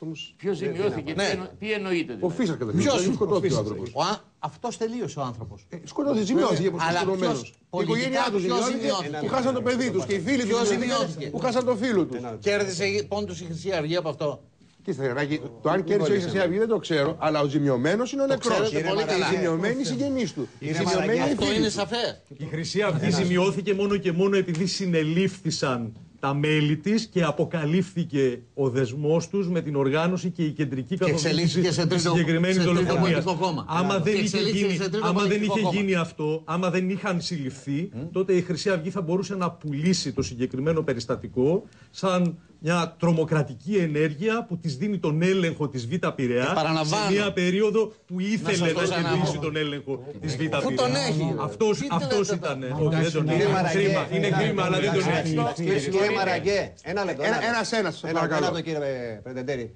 Ε, κύριε Μαραγκέ, κύριε συνάδελφε, γνωριζόμαστε πάρα πολλά χρόνια. Και εγώ, όπως ξέρετε, δεν έχω καμία ιδεολογική συγγένεια με το χώρο της Χρυσής Αυγής. Ούτε εγώ. Το αντίθετο θα έλεγα. Έτσι. Μας χωρίζει άβυσος ιδεολογική. Το δεύτερον, δεν είμαι συνήγορος σε αυτή την υπόθεση. Είμαι ένας νομικός. Έτσι εκλήθη. Το ερώτημα το οποίο θέτω. Θα πρέπει οι κατηγορούμενοι σε αυτή τη δίκη να αξιολογηθούν σύμφωνα με τα ποινικά αδικήματα τα οποία αντιμετωπίζουν; Ή θα πρέπει να κοιτάξουμε τις πολιτικές τους ε, πράξεις ή ιδεολογίες, τις οποίες τις καταδικάζουμε όλοι; Ποινικά αδικήματα δεν αξιολογούνται σε αυτή τη δίκη; Κύριε Δημητρακόπουλε, Αξιολογείται. ποινικά δεν δικάζουμε. Μα εσείς Τις πράξεις προηγουμένως. δεν δικάζουμε. Άρα συμφωνούμε, συμφωνούμε Τις λοιπόν θα πράξεις δεν δικάσουμε δικάζουμε. εάν υπάρχει εγκληματική οργάνωση πρώτον, εάν υπάρχει Αυτή δεν είναι διακεκριμένη ποινική πράξη. οπλοκατοχή. Η εγκληματική οργάνωση δεν είναι ποινική πράξη. Ακριβώς. Λοιπόν, θα μείνουμε λοιπόν στα δεν θα πλαίσια ερευνηθεί. ενός ποινικού αδικήματος Δεν ή θα, θα καθίσουμε να ερευνηθεί η δικάσουμε εγκληματική οργάνωση. την ιδεολογία της Χρυσής Αυγής. Η Από ιδεολογία πού της έχει Χρυσή ξεκινήσει. Τι είπατε; Δεν θα ερευνηθεί η εγ- η εγκληματική οργάνωση από πότε έχει ξεκινήσει Ιστορικά. και Ένα πού λε- έχει καταθέσει. Ένα λεπτό, ένα λεπτό. Να συμφωνήσουμε λοιπόν ότι θα εξεταστούν ποινικά δικήματα σε αυτή τη δίκη. Δεν θα έχουμε μια πολιτική ποινική δίκη όπως είπε ο καλός συνάδελφος ο κ. Καμπαγιάννης. Κάθε άλλο παρά είπα αυτό. Να συμφωνήσουμε ότι τα Κύριε ποινικά Δημητρακόπουλε, αδικήματα μου επιτρέπετε. έχουν κίνητρα. Να Έχουν συμφωνήσουμε κίνητρα. Κύριε ότι Δημητρακ- υπάρχουν κίνητρα. Ναι, αλλά τι- τι θα- ότι τι θα ότι λοιπόν ερευνήσουμε; η εθνικοσοσιαλιστική συγκρότηση της Χρυσής Αυγής της έδινε το κίνητρο προκειμένου να επιλέγει τους εχθρούς Πέρα της, από το κίνητρο. δηλαδή αυτούς που θεωρούσε εχθρούς της οργάνωσης Κύριε ή Καπαγιάννη, δεν υπάνθρωπους, είναι- δηλαδή Κύριε ανθρώπους Καπαγιάννη, σαν το Φίσα, κύριε Καπαγιάννη. δηλαδή Αιγύπτιους αλλιεργάτες, θα δηλαδή πει- συνδικαλιστές Ένα του λεπτό. ΠΑΜΕ. Εδώ θα Αυτό, πρέπει να λοιπόν, ερευνήσουμε αν υπάρχει π.χ. Τώρα διακεκριμένη. Ένα λεπτό κύριε Αυτή Καπαγιάννη. είναι η απάντηση στον Τώρα κύριο κάνετε Πρετεντέρη. Ο κύριος Πρετεντέρης θέλει μια απάντηση. Πού κολλάει ο εθνικοσοσιαλισμός, η ιδεολογική συγκρότηση αυτής της οργάνωσης, που είναι δεδομένα ναζιστική, αυτό το πράγμα θα φανεί ούτως ή άλλως και πανηγυρικά στο ακροατήριο, με τις ποινικές πράξεις. Οι ποινικές πράξεις έχουν κίνητρο. Είναι σαν να ρωτάτε άμα κάποιος σύζυγος σκότωσε τη σύζυγό του, αν θα αναζητήσει το δικαστήριο το κίνητρο της ζήλιας. Να είναι σας- δυνατόν ένα λεπτό, να μην ένα- συζητήσεις για ένα- τη ζήλια προκειμένου Κύριε να, Καπαγιάννη. να αντιληφθείς για Κύριε- ποιο λόγο έγινε το συγκεκριμένο Κύριε- αδίκημα. κύριε Καπαγιάννη. Με τον ίδιο τρόπο λοιπόν θα αναζητηθεί από το Με, ακροατήριο με όλο. και Ένα λεπτό, ε, κύριε συγκεκριμένη Καπαγιάννη. συγκρότηση. Ένα λεπτό. Επιτρέπετε. Με όλο το σεβασμό και τελειώνω. Μην- μην μιλάτε όλοι μαζί Κύριε όμως. Καπαγιάννη, κύριε, Πα- επιτρέψτε μου. Πόσα χρόνια κάνετε ποινικό.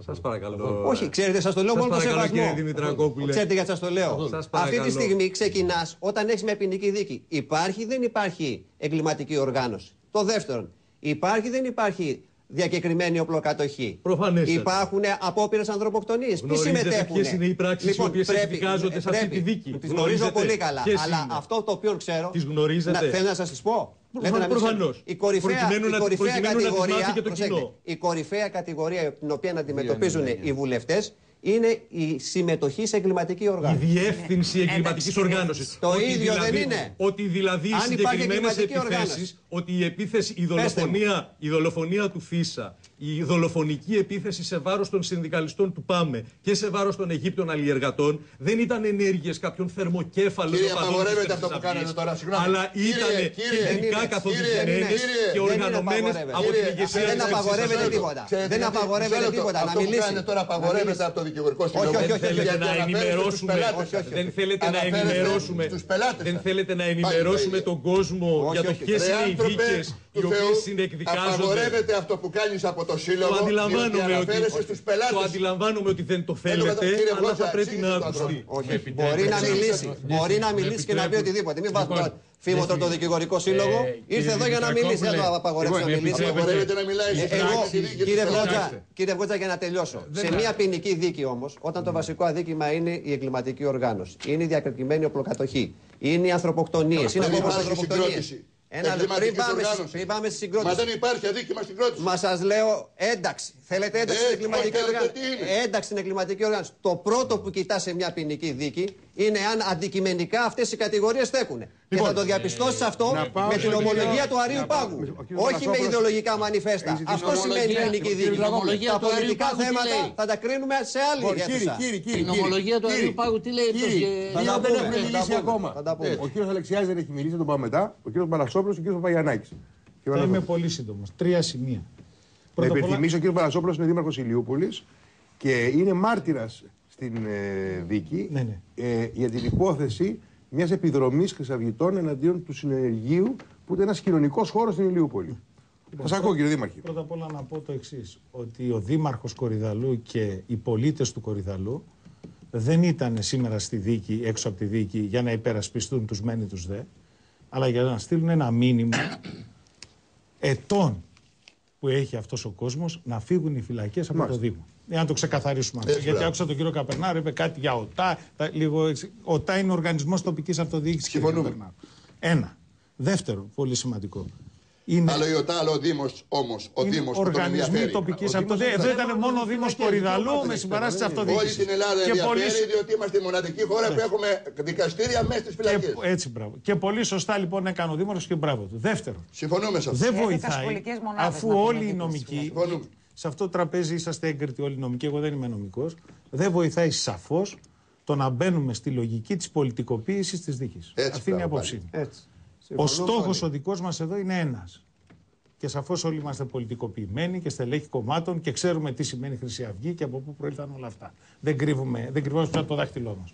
Όμως δεδομένο είναι ότι εδώ πρέπει να αποδείξουμε σε εισαγωγικά με κάποια γεγονότα που ο καθένας ξέρει. Εγώ θα διατυπώσω τα γεγονότα που συνέβησαν στην πόλη, στην πόλη μου. Γιατί ομάδες συγκεκριμένες της Χρυσής Αυγής, πράττοντας εγκληματικά, επαναλαμβάνω, χτύπησαν δύο φορές ένα συγκεκριμένο κοινωνικό στέκι και από τύχη δεν θρυνούμε σήμερα νεκρούς. Γιατί τι είχε αυτό το στέκι, τι, τι τους ενοχλούσε. Να σας πω, να σας πω. Ε, υπάρχει χρόνια τώρα, υπάρχουν αντιδικίες σε συγκεκριμένες περιοχές του Λεκανοπεδίου. Αυτοί ήταν χρυσαυγίτες Ηλιούπολης που όχι, θα όχι, χτυπήσανε. καμία σχέση. Η Λιούπολη δεν έχει χρυσαυγίτες, έχει την τύχη να μην έχει χρυσαυγίτες. Θα έχει αυτή κάτι, δεν μπορεί να μην έχει καθόλου. Όχι, ψηφοφόρους μπορεί να έχει. Βολευμένοι Δεν είναι. έχουμε οργανωμένη παρουσία της Χρυσής Αυγής στην πόλη. Και αυτό εξηγείται. Γιατί, αλλά δεν είναι τώρα του παρόντος. Τι ακριβώς έγινε, αν μου επιτρέπετε να σας Μην πω. πούμε για περιστατικό, γιατί έχουμε να τελειώσουμε 300 περιστατικά όχι, εδώ όχι, πέρα. όχι, δεν είναι. Θέλω να καταλάβω γιατί ειδικά χτυπήθηκε ένας χώρος που τα Χτυπήθηκε παιδάκια ένας- μαθαίνουν αγγλικά. Γιατί ο χώρο, ναι, ακριβώς. Ο χώρος αυτός ήταν ένας χώρος μιας ελεύθερης έκφρασης κοινωνικών ομάδων στην Ηλιούπολη. Α, Υπάρχουν πολλές τέτοιε. Ιδεολογικά δηλαδή χτυπήθηκε. Βεβαίω. Χτυπήθηκε λοιπόν ιδεολογικά γιατί οι συγκρούσεις δεν είχαν αρχίσει από τώρα, από το 13 ή από το 14. Οι συγκρούσεις είχαν αρχίσει από το 12, ίσως και νωρίτερα. Είχαν γίνει συγκρούσεις στην Αργυρούπολη, είχαν γίνει συγκρούσεις Βεβαίως, στον τα- Άλυμο, τα Τα ξέρετε. παίζαμε στις ειδήσεις. Ακριβώς. Είχαν γίνει συγκρούσεις συγκεκριμένες. Εγώ ως δήμαρχος Ηλιούπολης ειδοποιήθηκα, πήγα επί τόπου στον χώρο και είδα με τα μάτια μου το τι συνέβη. Τους δίρανε όλους. Κοιτάξτε, οι επιθέσεις γίνανε δύο φορές. Τη μία φορά έγιναν το 2012, όπου ερίχθη βόμβα Μολότοφ εκεί. Εγώ πήγα ο ίδιος και την είδα γιατί εκλήθη από τους ανθρώπους που Τους ήταν. ξέρουμε τους αυτούργους. Ε, εγώ δεν είδα αυτούργους, ξέρω όμως τις μαρτυρίες των ανθρώπων που ήταν εκεί. Και με στοιχεία αναφέρουν ότι υπήρχαν στην πρώτη, στο πρώτο επεισόδιο συγκεκριμένη ομάδα στελεχών της Χρυσής Αυγής. Επωνύμων. Όχι στην πρώτη, στο Ξέρουμε. πρώτο χτύπημα, όχι. Στο δεύτερο χτύπημα όμως, το οποίο ήταν και πραγματικά εγκληματικό, γιατί ήταν περίπου στις 100 δίκυκλες μηχανές με στολές της Χρυσής Αυγής και με επίθεση με ρόπαλα κτλ. Σε αυτό το κοινωνικό στέκιο που χτυπήθηκαν δύο άνθρωποι πάρα πολύ σοβαρά, ο ένας σε πολύ άσχημη κατάσταση. Από τα στοιχεία που έχουμε, έχουμε και ονοματεπώνυμα. Ποιος είναι; Και, ε, τα ονόματα είναι εδώ, θα σας τα πω. Δεν ε, Πες το, έχω εγώ, πρόβλημα. δεν- Ε, δεν θα- κρύβουμε. θα- μπορώ να τα βρω. Και το σημαντικότερο όμως δεν ήταν αυτό. Το σημαντικότερο ήταν ότι ε, βρέθη και καταδόθηκε στην αστυνομία, γιατί και εγώ προσωπικά την ειδοποίησα, ότι το ένα αυτοκίνητο που ευρέθη έξω από το κοινωνικό αυτό στέκι ήταν του βουλευτή της Χρυσής Αυγής, του κυρίου Λαγού, όπου εδώ είναι στη διάθεσή σας και παρακαλώ να σας τα εγχειρήσω, να σας τα εγχειρήσω το χαρτί της Βουλής που επιβεβαιώνει ότι το αυτοκίνητο αυτό ήταν βουλευτικό. Και βουλευτικό και όλα αυτά είναι. Βεβαίως.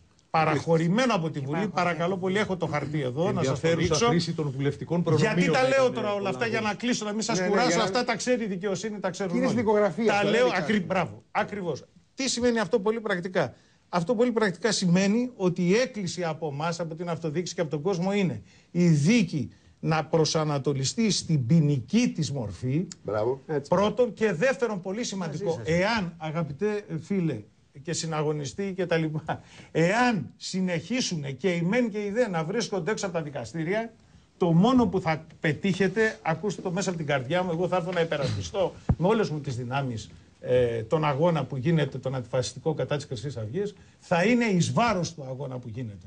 Γιατί πρέπει επιτέλους να μάθουμε Έτσι. να στηρίζουμε τους θεσμούς και να τους λειτουργούμε. Μπράβο. Ε, Δήμαρχε, Το γνωρίζετε, δι- τελειώνω αμέσως. γνωρίζετε Το- το... λόγο για τον οποίο έγινε η συγκεκριμένη επίθεση; Βεβαίως, πάρα πολύ καλά, αλλά δεν είναι το τραπέζι. Βλέπεις ότι επιχειρώ σιγά σιγά να μην αναλύσω όλα τα δεδομένα εδώ, γιατί εδώ ούτε δικαστήριο είμαστε, ούτε θα... Εδώ θέλουμε απλώς να αποδείξουμε με τα στοιχεία που έχουμε ότι αυτές οι δράσεις της Χρυσής Αυγής, αγαπητοί κύριοι, ήταν εγκληματικές Αλλά δράσεις. κρατάω την έκκλησή σας να παραμείνει μια ποινική δίκη. Και να αυτό μην είναι. εκ- Ποινική να Κύριε μην- Πανασόπουλε, οι πολιτικοί, μια απορία όμως. τις Σωστά. πολιτικές, Πολιτικό ενδιαφέρον. τις πολιτικές Με απόψεις πολιτικό Ναι, ενδιαφέρον. αυτό- και αυτό κλείνω αυτό κύριε είπα, Πρετεντέρη, τις πολιτικές Σωστά το. απόψεις τις κρίνει ο ελληνικός λαός με την ψήφο του. Και ψηφίζει. Εγώ Ακριβώς. προσυπογράφω αυτό που, αυτά που είπε. Όλοι Ο αυτό κ. λένε. Βαγιανάκης δεν έχει Εκείνο τίποτα που άλλο. θέλω να. Μισό λεπτό να τον ρωτήσω. Δηλαδή, λέτε ότι ο λαγός ήρθε εκεί, έριξε βόμβα και άφησε και το αυτοκίνητο του. Κοιτάξτε, ακούστε Θα κύριε. το απαντήσω. Ακούστε Εγώ- μόνο το σεβασμό που έχω στο πρόσωπό σας. Και εγώ εξής. Σα παρακαλώ πολύ να μην μου απευθύνετε τέτοιες ερωτήσεις τύπου δικαστηρίου.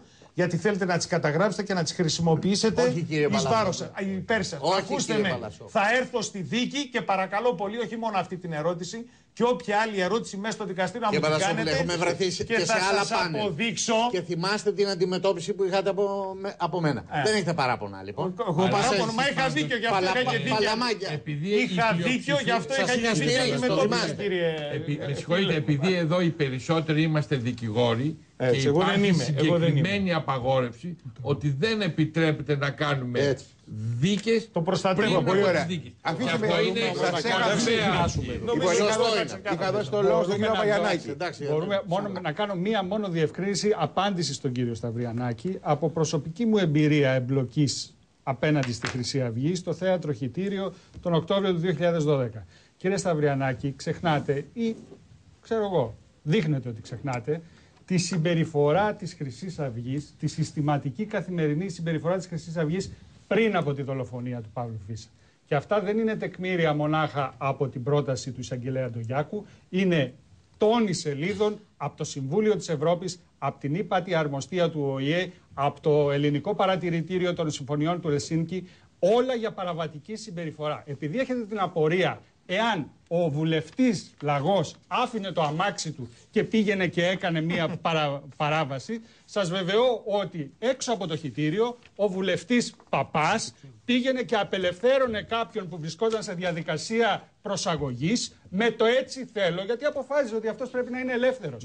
Τα κάναν τα πάντα. Ο βουλευτής Λαγός, ο Παπάς, ο Μίχος, εκείνη τη βραδιά καθόντουσαν εν είδη νταβατζίδων στην πόρτα του χιτηρίου και απαγορεύαν σε όλους τους Έλληνες πολίτες να μπουν να δουν μια θεατρική παράσταση.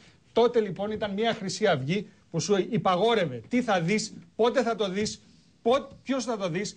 Είναι αδιανόητο το θράσος της Χρυσής Αυγής το καλοκαίρι του 2002. Και όλα εκείνα τα τάγματα εφόδου που ο κύριος Μιχαλολιάκος έλεγε ότι θα ακονίσουμε τις ξυφολόγες μας στα πεζοδρόμια. Υπάρχει βίντεο του Μέγκα που το λέει αυτό. Τη φράση του Γκέμπελς δηλαδή ατόφια. Όλες εκείνες, εκείνο το ανίποτο θράσος του Κασιδιάρη που έλεγε ότι τώρα που έχουμε τα βουλευτικά προνόμια μπορούμε να ρίχνουμε και μια φάπα παραπάνω, μπορούμε να οπλοφορούμε. Ήταν μια άλλη Χρυσή Αυγή από την αυγή, Χρυσή Αυγή που προήλθε μετά τη δολοφονία του Παύλου Φίσα και μετά και από τις δολοφονίες των Χρυσαυγητών στο Νέο Ηράκλειο. Λοιπόν, μην λέτε πώς είχε. Είχε το απίθμενο θράσος πιστεύοντας ότι έχει τη βουλευτική ασυλία και έχει και το βουλευτικό αυτοκίνητο που είχα και εγώ, που είχαν όλοι οι βουλευτές με leasing. Ε, δεν ήταν κάτι λέει, τρομερό. λέει, κύριε Τατσόπουλη, η δεν απόφαση ήταν κάτι τρομερό. της Βουλής. Δεν τον ενδιέφερε. Κανέναν από αυτούς δεν τους ενδιέφερε. Είναι λοιπόν μια εγκληματική οργάνωση, όχι επειδή το αποφασίζουμε εμείς, ούτε είναι πολιτική απόφαση. Μια εγκληματική οργάνωση που πριν από τη δολοφονία του Παύλου Φίσα, κανείς δεν ασχολήθηκε μαζί της, παρόλο που ούρλιαζε το Συμβούλιο της Ευρώπης, ούρλιαζε ο ΟΗΕ, ούρλιαζε το, ο συνήγορος του πολίτη, ούρλιαζαν οι πάντες. Αληθών υποτιθεμένων των όσων μου είπατε. Υποτιθεμένων. Υπάρχουν τόνοι Ε, βίντεο. πώς να σας το πω τόνοι... τώρα, να σας πω ότι όλα Μα είναι τι ακριβή. λέτε; Σας να λέω βάλουμε αληθών λίγο τον λέω. Παναγιώταρο να δείτε Αληθών πόσο λέω. καλά υπεράσπιζε Κύριε τα Σιόπουλε, χρηστά εγώ είδη σας είπα, έξω από το θέατρο χιτήριο. Αληθών υποτεθέμενο. Δεν Τον συνιστούν λαγό οι θέλετε να πράξεις τον αυτές ακούσουμε. Εγκληματική οργάνωση. Έτσι για να εξηγούμε Μα θεμελικά. δεν, τι το κάνανε, επειδή ήταν χούλιγκανς; Όχι, επειδή σας ήταν το λέω, για να- εθνικοσοσιαλιστές. Ε, Οι εδώ ίδιοι, τα υπάρχουν, κείμενά ε, τους. Δικηγόροι. Ο παπάς στα 42 του χρόνια γράφει ναζιστικά κείμενα. Στα 40 του χρόνια γράφει ναζιστικά κείμενα. Δεν τα κάνει 20 χρονών. Δεν είναι η, η απότερη του νιώτη. Θα μας πείτε τώρα ότι όλα αυτά τα κείμενα. Δόξα τω Θεώ, υπάρχει πλέον διαδίκτυο. Δεν σας είπα δεν για τα μπορεί, κείμενα, κύριε- δεν μπορεί κύριε- να. Α, κύριε- δεν είχα κύριε καμία σχέση με τη Τασόπουλε, δράση τους. δεν είπα αυτό το πράγμα. Ήταν απλώς συμπτωματικά Σας είπα, οι ναζιστές. πράξεις τις Ήταν οποίες ναζιστές από αναφερθήκατε αφηρημάδα. Τι δεν ακριβώς συνιστούν ήταν. πράξεις εγκληματικής οργάνωσης. Οι πράξεις Μα οι, εγκληματικής οι οργάνωσης... ιδέες είναι- τους τους οδηγούσαν στις πράξεις τους. Υπήρχε σχέση αιτίου αιτιατού ανάμεσα στις ιδέες Α, το δούμε. και τις πράξεις. Λοιπόν, Κύριε κύριε Σαββίδη, Τασόπουλε, αν αποδειχθεί αν ότι κρυ- σας παρακαλώ, έδινε κύριε, εντολή πρέπει να πάω στις για διαφημίσεις, μια πάω στις διαφημίσεις, εγκληματική κύριε δράση Παπαδάκη. οποιοδήποτε. Σοφία, θα πάω στις διαφημίσεις, επιτρέψτε μου, βοήθησε με. Πάω στις διαφημίσεις. Έχω πει θα πάρεις το λόγο μετά ο κύριος ε, Παγιανάκης και ο κύριος Αλεξιάδης επίσης έχει στήσει το λόγο και θα αμέσως μετά όμως, για να μην τους διακόψω τώρα, σε 4 λεπτά, 3 λεπτά είμαστε πίσω. Αυστηρός τώρα υπερκαλύψεις και πρέπει να πάμε λίγο πιο γρήγορα. Ο λόγος στον κύριο Παπαγιανάκη, μετά στον κύριο Αλεξιάδη και στον κύριο Μαραγκό που έχει ζήσει το λόγο να υπενθυμίζω στο κεντρικό στούντιο του ΜΕΚΑ και είναι ο συνήγορος πολιτικής αγωγής της οικογένειας Φίσα. Και Μαραγκή θα έρθω αμέσως σε εσάς, αλλά ο κύριος Παγιανάκη δεν έχει πάρει καθόλου το λόγο. Οπότε θα του δώσουμε προτείνω το λόγο και θα έρθω σε εσάς μετά. Ο κύριος Παγιανάκη. Ευχαριστώ. Δύο πολύ γρήγορες παρατηρήσεις. Όταν μίλησε ο Δήμαρχος για την επίθεση στο Στέκι και εσείς είπατε ότι τους επιτέθηκαν για ιδεολογικούς λόγους. Άρα βλέπετε ότι είναι πολύ δύσκολο να Μα, γίνει. αρχή το είπα. ένας- Όχι, το λέω ως παρατήρηση. Ότι είναι πολύ δύσκολο να γίνει αυτός ο διαχωρισμός. Γιατί... Έστω πολιτικούς, ας πούμε. Ναι, ναι. Γιατί ο, κατά τη γνώμη μου και κατά τη γνώμη πολλών, ε, η βία προκύπτει από την ιδεολογία. Αλλά δεν μπαίνω κι εγώ σε αυτή τη διαδικασία και δεν θέλω να κάνουμε τη- αυτή τη συζήτηση ξανά. Προφανώς δεν πρέπει να μπλέξουμε το πολιτικά με τη δίκη, εννοείται. Ούτε είμαστε εδώ για να κάνουμε δίκη. Το τονίζω και εγώ για να ακούγεται αρκετές φορές. Ε, τώρα, να πω λίγο για το τι κάνουμε εμείς. Ε, συμμετέχουμε σε μια πρωτοβουλία που ονομάζεται Golden Dawn Watch και είναι μια, ένα παρατηρητήριο για την ε, διαδικασία της δίκης της Χρυσής Αυγής. Όπου ο κύριος Καμίνης είναι και μάρτυρας γι' αυτός. Ναι, ο- είναι μάρτυρας κατηγορία μαζί με την κυρία Νέλη Παπαχελά, που είναι πρόεδρος του Δημοτικού Παραφραστώ εγώ Συμβουλίου. μετά σας. Ε, και ε, σε αυτό, τι το, κάνετε εσείς; σε αυτό το παρατηρητήριο συμμετέχει η Ελληνική Ένωση για τα Δικαιώματα του Ανθρώπου, το παρατηρητήριο για το φασιστικό και ρατσιστικό λόγο στα ΜΜΕ που είναι μέσα στο πλαίσιο του του Μορφωτικού Ιδρύματος της ΕΣΥΑ, το συντονιστικό αντιφασιστικό της Αθήνας Πειραιά και το Συμβούλιο Ένταξης Μεταναστών, το οποίο εκπροσωπεί ένα πολύ μεγάλο αριθμό κοινοτήτων μεταναστών, τα οποία, οι οποίοι έχουν και το μεγαλύτερο αριθμό θυμάτων, ε, όπως Δηλαδή, έχουν καταγραφεί. αλλά δεν είστε πολιτική αγωγή. Όχι, Απλώ όχι, παρακολουθείτε όχι. και Παρακολου- καταγράφετε. Όχι, έχουμε ένα ρόλο καταγραφής και βοη... θέλουμε να βοηθήσουμε. Πόσα στην άτομα διαφάνεια. απασχολούνται; Κοιτάξτε, υπάρχουν πέντε δικηγόροι οι οποίοι θα παρακολουθούν εναλλάξει τη δίκη και θα κάνουν μια τα- καταγραφή η οποία κάθε μέρα ή κάθε φορά που θα υπάρχει δίκη, γιατί από ό,τι κατάλαβα δεν θα υπάρχει κάθε μέρα, θα υπάρχει ένα ραπόρτο τέλος πάντων, μια ανάλυση και θα υπάρχουν και κάποιες γνώμες, κάποια σχόλια. Ε, υπάρχει ένα site, το goldendawnwatch.org, το οποίο έχει αναλάβει, ε, το τρέχουν 7 άνθρωποι, όλα είναι εθελοντικά. Ναι, αλλά τώρα μην μας δίνετε λεπτομέρειες. Όχι, Αυτές είναι λίγο για να τοποθετήσω Ναι. το, το περιεχόμενο. Ε, το Συμβούλιο Ένταξη Μεταναστών του Δήμου Αθηνών, όπως είπα, εκπροσωπεί πάρα πολλές κοινότητες μεταναστών. Γύρω Για να στους 20. φύγετε από το Θέλετε θεσμικό. να πάμε στο πολιτικό. Ε, ναι, πέστε Ωραία. μου την άποψη για το θέμα. Κοιτάξτε, η δίκη είναι πάρα πολύ σημαντική. Αυτά που θα γίνουν σε αυτή τη δίκη θα τα συζητάμε για τα επόμενα πολλά χρόνια. Είμαι βέβαιος Και γι' αυτό. δικονομικά. Εγώ νομική έχω σπουδάσει, έχω σπουδάσει στο εξωτερικό, δεν έχω ασχοληθεί στα ελληνικά. Άρα δεν θέλω να μπω στα χωράφια των έγκριτων συναδέλφων και να πέσω σε καμιά λούμπα. Ε, νομίζω ότι αυτά που θα γίνουν θα τα συζητάμε για τα επόμενα πολλά χρόνια. 10-20, δεν μπορώ να βάλω χρονικό όριο. Και νομίζω ότι πρέπει να είμαστε πολύ προσεκτικοί για την, ε, στο- στη- κατά τη διάρκεια της εκδίκασης.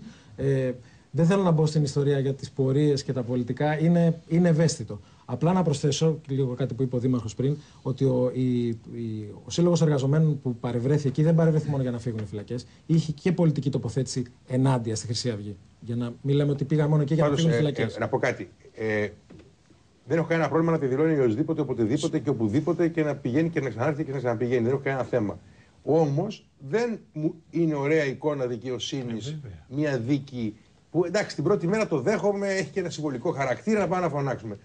Ε, εικάζω όπως ο κύριος Γόλτας ότι αυτό δεν θα κρατήσει και πάρα πολύ. Αυτή δεν είναι κάθε μέρα εκεί πέρα. Αλλά παρόλα αυτά. Εγώ δεν θέλω να πω θα στο- ήθελα- στο αν θα κρατήσει πολύ. Δεν θα ήθελα να δω. Συμφωνώ να σου λέω ότι- ειλικρινά, οι δρόμοι του Κορυδαλού να είναι κάθε μέρα πεδίο αντιπαράθεσης φασιστών, αντιφασιστών, ξέρω εγώ, πώς το λένε, εθνικιστών, αντιεθνικιστών, δεν ξέρω τι άλλο τέτοιο θέλετε. Και να, να, να, να γίνει μια Στη ιστορία δημοκρατία της μονόφωνο, Βαϊμάρης φύλου, δεν το αντέχει. Συμφωνώ ότι, αυτό και λοιπά. Δεν είναι συμφωνώ ότι η ωραίο. αναταραχή γύρω Αυτό από τη είναι. δίκη δεν βοηθάει κανέναν. Αυτό ήθελα. Ούτε τους κατηγορούμενους, Ο ούτε κύριος την Αλεξιάδης. πολιτική αγωγή. Ναι, υπενθυμίζω ότι ο κ. Αλεξιάδης είναι ο συνήγορος του κατηγορουμένου του κ. Λαγού. Του Ιωάννη Λαγού, μάλιστα. Εγώ θα απαντήσω λίγο γενικά σε όλους. Δεν έχω. Σας έχω αφήσει, δεν έχω ενοχλήσει Βεβαίως. κανέναν. Θα απαντήσω συνολικά. Πρώτον, από τη στιγμή που γίνονται τέτοιες διαδηλώσεις απ' έξω από τον Κορυδαλό, από το δικαστήριο, αυτομάτως να είστε σίγουρος ότι θα έχουμε και από τις δύο πλευρές, και από τους μεν και από τους δε, θύματα. Αν όχι ε, με τραγική κατάληξη, δόξα τω Θεώ, θα έχουμε σίγουρα χτυπήματα. Εγώ γνωρίζω πάρα πολύ καλά ότι υπάρχει βίντεο που και από την άλλη πλευρά. Θα παίξουν ξύλο, δεν υπάρχει θέμα. Αυτό Μα είναι έπαιξε προφανές, ξύλο δεν και είναι- έχουμε και από τους δύο θύματα. Και από τους μεν και από τους δε. Πάλι. Άρα, καλό θα είναι να μην προσπαθούμε να εξτάρουμε την ατμόσφαιρα ώστε να δημιουργούμε πρόβλημα και να μαζεύονται από απ' έξω κόσμος ώστε να μην μπορούμε να κάνουμε εμείς οι ίδιοι τη δουλειά μας. Δεύτερον και σημαντικότερον, ε, ως προς το συνεργείο, ει προς τον Ιωάννη Λαγό και το βουλευτικό αυτοκίνητο που άκουσα από τον Δήμαρχο Ηλιούπολης. Ε, αφενός έχουν ε, συλλέξει το υλικό αλλά δεν το έχουν κατανοήσει πάρα πολύ καλά και μιλάω πάντα νομικά χωρίς να μπω σε καμία πολιτική. Δεν με αφορά η πολιτική συζήτηση. Είμαι νομικός και είμαι συνήγορος υπερασπίσεως του Ιωάννη Λαγού. Θα πρέπει λοιπόν να αντιληφθούν ότι τον τρόπο που νομίζουν ότι έχουν εισφερθεί σε αυτή την ποινική διαδικασία δεν είναι όπως ακριβώς νομίζουν. Δεν υπάρχει κανένα βουλευτικό όχημα με τον τρόπο που προσπαθεί να το πει ο Δήμαρχος. Θα έχουμε βέβαια στο ακροατήριο όλο το χρόνο να το εξετάσουμε από όλες τις πλευρές.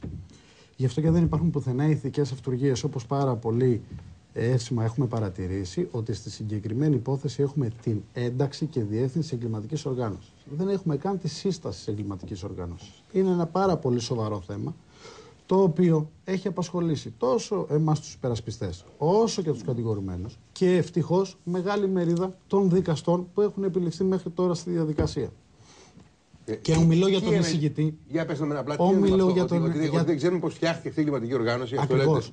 Ακριβώς αυτό. Πώς το δεν πράγμα. ξέρουμε, αφού ιδρύθηκε ως κόμμα, δεν ξέρουμε. Αυτή τη στιγμή έχουμε ένα κατηγορητήριο. Ναι, που λέει ότι Οφείλουμε αυτή να είναι δούμε το εγκληματική οργάνωση. κατηγορητήριο ως ε, Κατηγορητήριο Ευαγγέλιο. το διαλαμβάνει. Είναι το Ναι, Ευαγγέλιο ναι. της ποινικής δίκη Ναι, ναι. στο κατηγορητήριό μας. Στο κατηγορητήριο μας, λοιπόν, αυτό έχουμε πολύ συγκεκριμένα πράγματα. Έχουμε την ένταξη και τη διεύθυνση εγκληματικής Μάλιστα. οργάνωσης. Δεν υπάρχει σύσταση εγκληματικής οργάνωσης. Δεν έχουμε τη συγκρότηση γιατί έχει παραγραφεί Να όμω. σα βοηθήσω σε αυτό που είπε. Μισό λεπτό, Συγγνώμη, να να σας ολοκληρώσω. βοηθήσω. Να ολο- Συγγνώμη, για να σας Ναι, βοηθήσω. ναι. Δεν σας διακόπτω, ζητώ συγγνώμη. Σε αυτό που είπατε, το να καταθέσει κάποιος κόμμα, ένα άτομο καταθέτει κόμμα. Για, την, ορ- για τη συγκρότηση της εγκληματικής οργάνωσης ήταν τρία άτομα τουλάχιστον. Ναι. Δεν υπάρχουν. Εδώ 69. Συνεπώς, στο κατηγορητήριο, στο βούλευμα, δεν υπάρχει συγκρότηση. Ένταξη μόνο. Καταλάβατε; Μάλιστα, κατάλαβα. Συνεχίζω λοιπόν. Ναι, τε- Συγγνώμη για τη διακοπή, Επιτρέψτε για μου, να παρακαλώ. ενισχύσω αυτό που Επιτρέψτε μου είπατε. Για να ολοκληρώσω. Έτσι. Άρα αυτομάτως έχουμε να κάνουμε με μια διεύθυνση και μια ένταξη εγκληματικής οργάνωσης, χωρίς να υπάρχει κανένα άλλο ρόλο, τουλάχιστον για τους βουλευτές. Ακούω λοιπόν από την άλλη πλευρά ε, τους πύρινους λόγους που δήθεν έβγαζαν. Ναι, αυτό για έναν βουλευτή όμως, υπό κάποιες συνθήκες, θα μπορούσε να είναι προσόν. Όπως το θα βγάλουμε τις ξυμφολόγε. Γελάτε κύριε Τατσόπουλο, αλλά θυμάμαι ναι, ναι, πρόσφατα. Είναι ένας βουλευτής να απαγορεύει την είσοδο σε θεατές. Θυμάμαι πρόσφατα εσείς. Όχι, είναι νέα κοινοβουλευτικά. Είχατε πάει με τη μισή Ελλάδα και θέλετε να πάτε με την άλλη μισή. Βλέπω ότι είχατε μεγάλη ανάγκη να το πείτε αυτό, πείτε το ξαναπείτε το κιόλας. Επαναλάβετε το. Αν θεωρείτε προσόν για ένα βουλευτή να καταλύει την νομιμότητα και να εμποδίζει. Ναι, με τη μισή Ευρώπη. Πείτε το άλλη μια φορά. Εξαιτία ε, πρέπει να κρίνουμε Κοιτάξτε, αυτοί οι άνθρωποι τρομοκρατούσαν ανθρώπους. Υπάρχουν βίντεο, τα βλέπουμε κάθε. Βάλ, ας βάλουμε αφήστε πάλι, με, σας ας βάλουμε πάλι το, τον πελάτη σας, να τον ακούσουμε εκείνη τη νύχτα, τι ωραία ασκούσε τα, τα βουλευτικά του. Όχι, είναι προσόν. Οφείλετε είναι όμως... προσόν η γλώσσα που μιλούσε του λαγού Μα... και γι' αυτό σας λέω, για πρώτη φορά είναι η ελληνική τηλεόραση ως λόγος να τολμήσει να βάλει χωρίς μπιπ το λόγο του λαγού. Εσείς πολιτικό λόγο κάνατε όταν περνάτε τη μισή Ελλάδα, αλλά δεν την πήρατε. Σε μικρούς ανθρώπους υπερβολή στο πολιτικό. Είναι τους τρομοκρατούσε. Αυτοί οι ταβατζίδε, οι να... πολιτικοί ταβατζίδε. Το ίδιο πράγμα έκανε και ο κύριος Γεωργιάδης όταν ήταν υπουργός και ζήταγε μετά συγγνώμη από τον κύριο Λαγό. Διότι τον απεκάλεσε. Είναι φοβερό προσόν να Είναι φοβερό προσόν να οπλοφορείς. Είναι φοβερό προσόν να κακοποιείς μετανάστες και να γινόμαστε σούργελο σε όλη την Ευρώπη. Είναι φοβερό προσόν το Συμβούλιο της Ευρώπης να βάζει υπό. Να βάζει υποδιαθεσιμότητα την κυρία Ζαρούλια γιατί είπε η Πανθρώπου στους μετανάστες, ακούτε, την έβαλε υποεποπτεία το Συμβούλιο της Ευρώπης και η κυρία Ζαρούλια απλώς δεν ξαναπάτησε στο Συμβούλιο της Ευρώπης. Είναι προσόντα αυτά. Είναι προσόντα, ο τραμπουκισμός είναι προσόν. Μα να σας πω κάτι. Γυράς στο Πολύ ωραία. Συμφωνώ μαζί. Συγγνώμη, να ολοκληρώσω. Θέλω ο κύριο ε, Δημητρακόπουλο. ο οποίος δεν είναι παράγων στη δίκη. Ο τραμποκισμό είναι, είναι; εγκληματική οργάνωση. Η απελευθέρωση είναι κρατουμένου είναι προσόν και αυτό κυρίε και κύριοι. Να μας το πει κυρία τραμποκισμό. Γιατί έχει ασκηθεί δίωξη εναντίον του κυρίου Παπάκη αυτό το τέλεση κακουργημάτων Σας παρακαλώ. Η τέλεση, η συστηματική τέλεση κακουργημάτων, η επιδίωξη μάλιστα λέει το άρθρο 141. Λοιπόν, έχω πει, ξαναλέω και θα επιμείνω, το λόγο των κ. Αλεξιάδης και μετά πάω στον κύριο Μαραγκό. Λοιπόν, μην αρχίσει το ένας να, να ανακαλύψει λίγο άλλον. Σας ακούω. Αφήνουμε λοιπόν να δούμε το πιο σημαντικό στοιχείο σε αυτή τη δίκη που πρέπει επιτέλους να αποσαφινιστεί. Έχουμε φτάσει με ενδείξεις, με όλα αυτά που λέξει. Ενδείξεις έχει ανάκριση. Τι να σας κάνω τώρα, αυτή είναι η ποινική δικονομία. Έχουμε φτάσει με ενδείξεις αυτή τη στιγμή σε ένα κροατήριο. Οφείλουμε επιτέλους αυτές τις ρημάδε να κάνουμε του Επιτρόπου Ανθρωπίνων Δικαιωμάτων ενδείξεις. Τέσσερις νεκροί μετανάστες πριν από τον Παύλο Φίσα. Ενδείξεις. Υπάρχουν 69 κατηγορούμενοι. Υπάρχουν 69 τραυματισμένοι ενδείξεις και αυτές.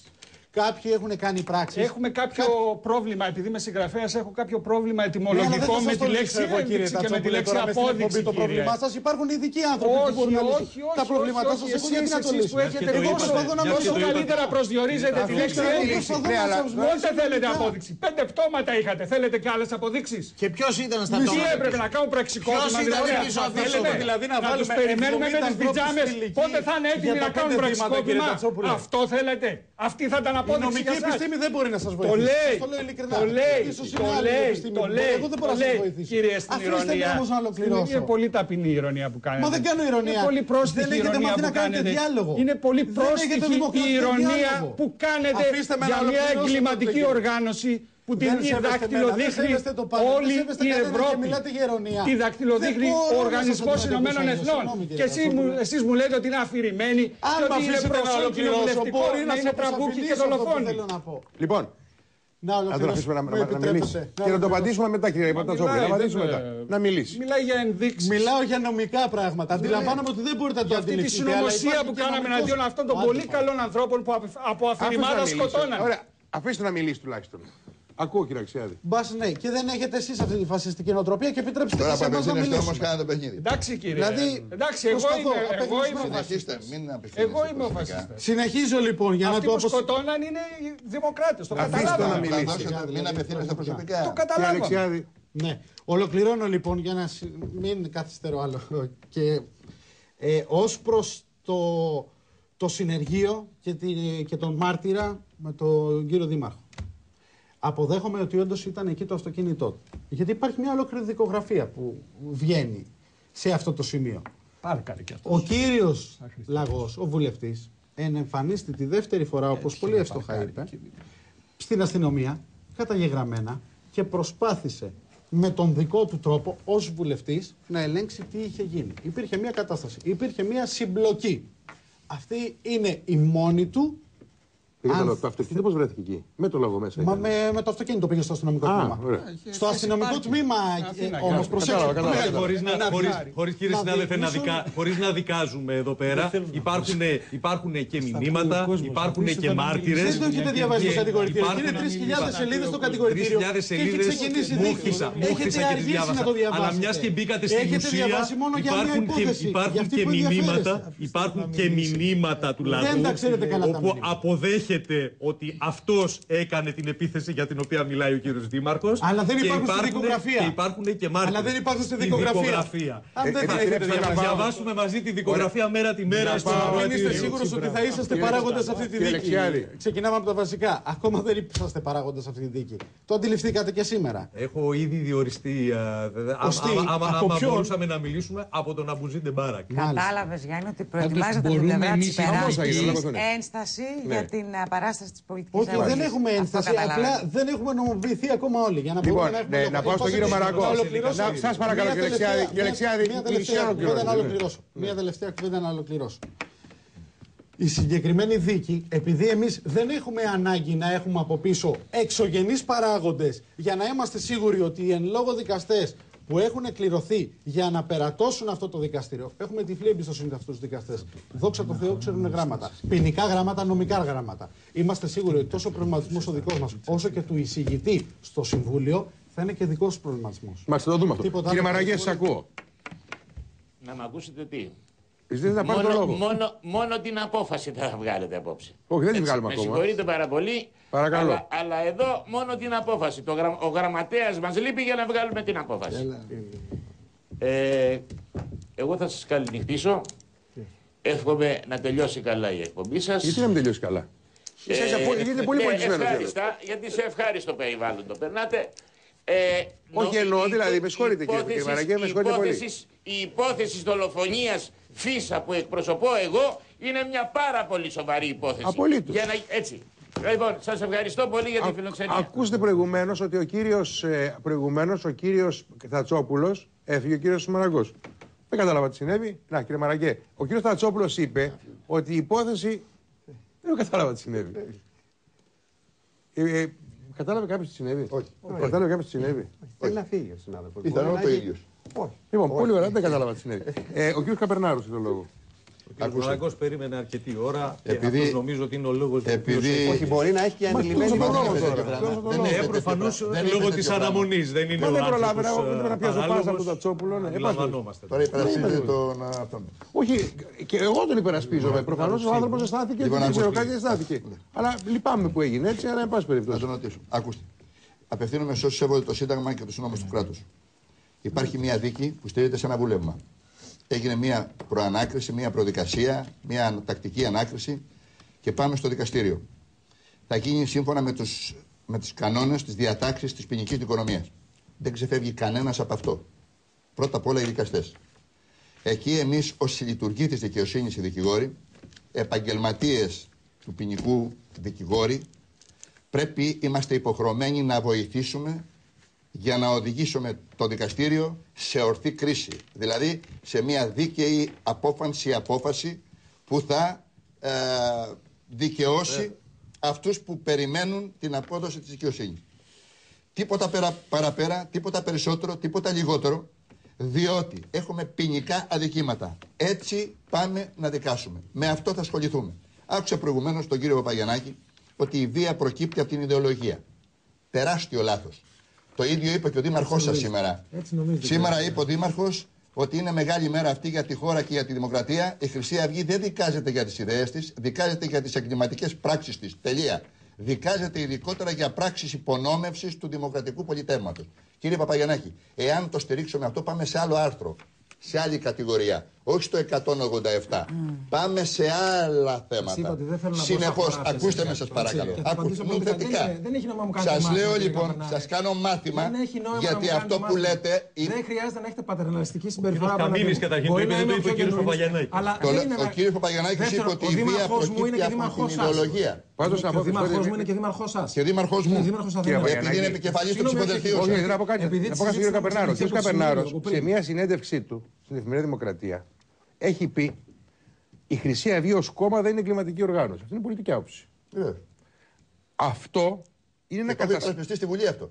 Την άρση της Εγώ- χρηματοδότησης. εγώ δεν το βρήκα. Εγώ βρήκα Και το- ψήφισε να μην έρθει η χρηματοδότηση. Αφήστε με να θυμίσω το- τη, τη δήλωσή Ναι. σας.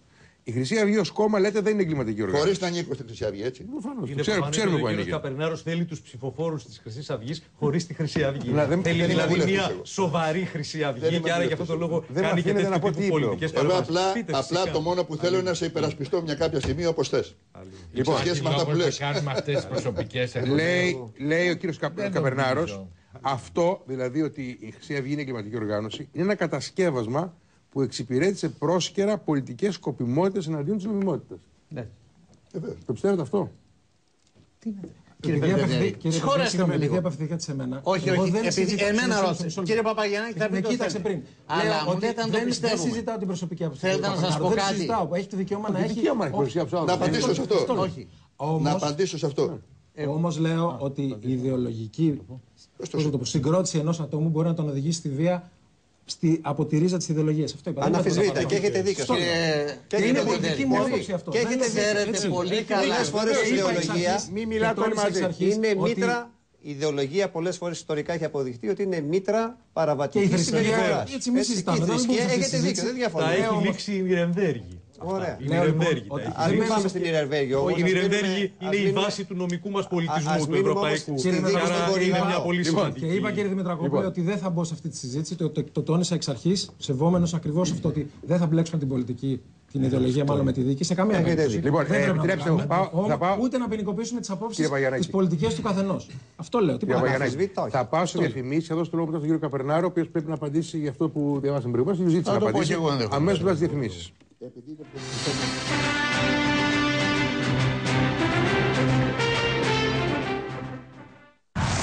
Σε αυτό το σημείο το νερό της βροχής είχε γίνει ποτάμι. υπενθύμηξή του, διάβασα τη δήλωσή του, ότι βασικά είναι, χοντρικά είναι μια σκοπιμότητα. Ακριβώς. Η δίωξη της Χρυσής Αυγής. Η σκοπιμότητα εκπορεύεται από το γεγονός ότι η Χρυσή Αυγή το 2009 είχε 0, τόσο της εκατό. Με μια συγκεκριμένη ιδεολογία. Με συγκεκριμένα πρόσωπα, οποίου εκ- εκ- εξέφραζαν κάποια ιδεολογία. Πώς τη λέγανε αυτή, κύριε Καπερνάρο.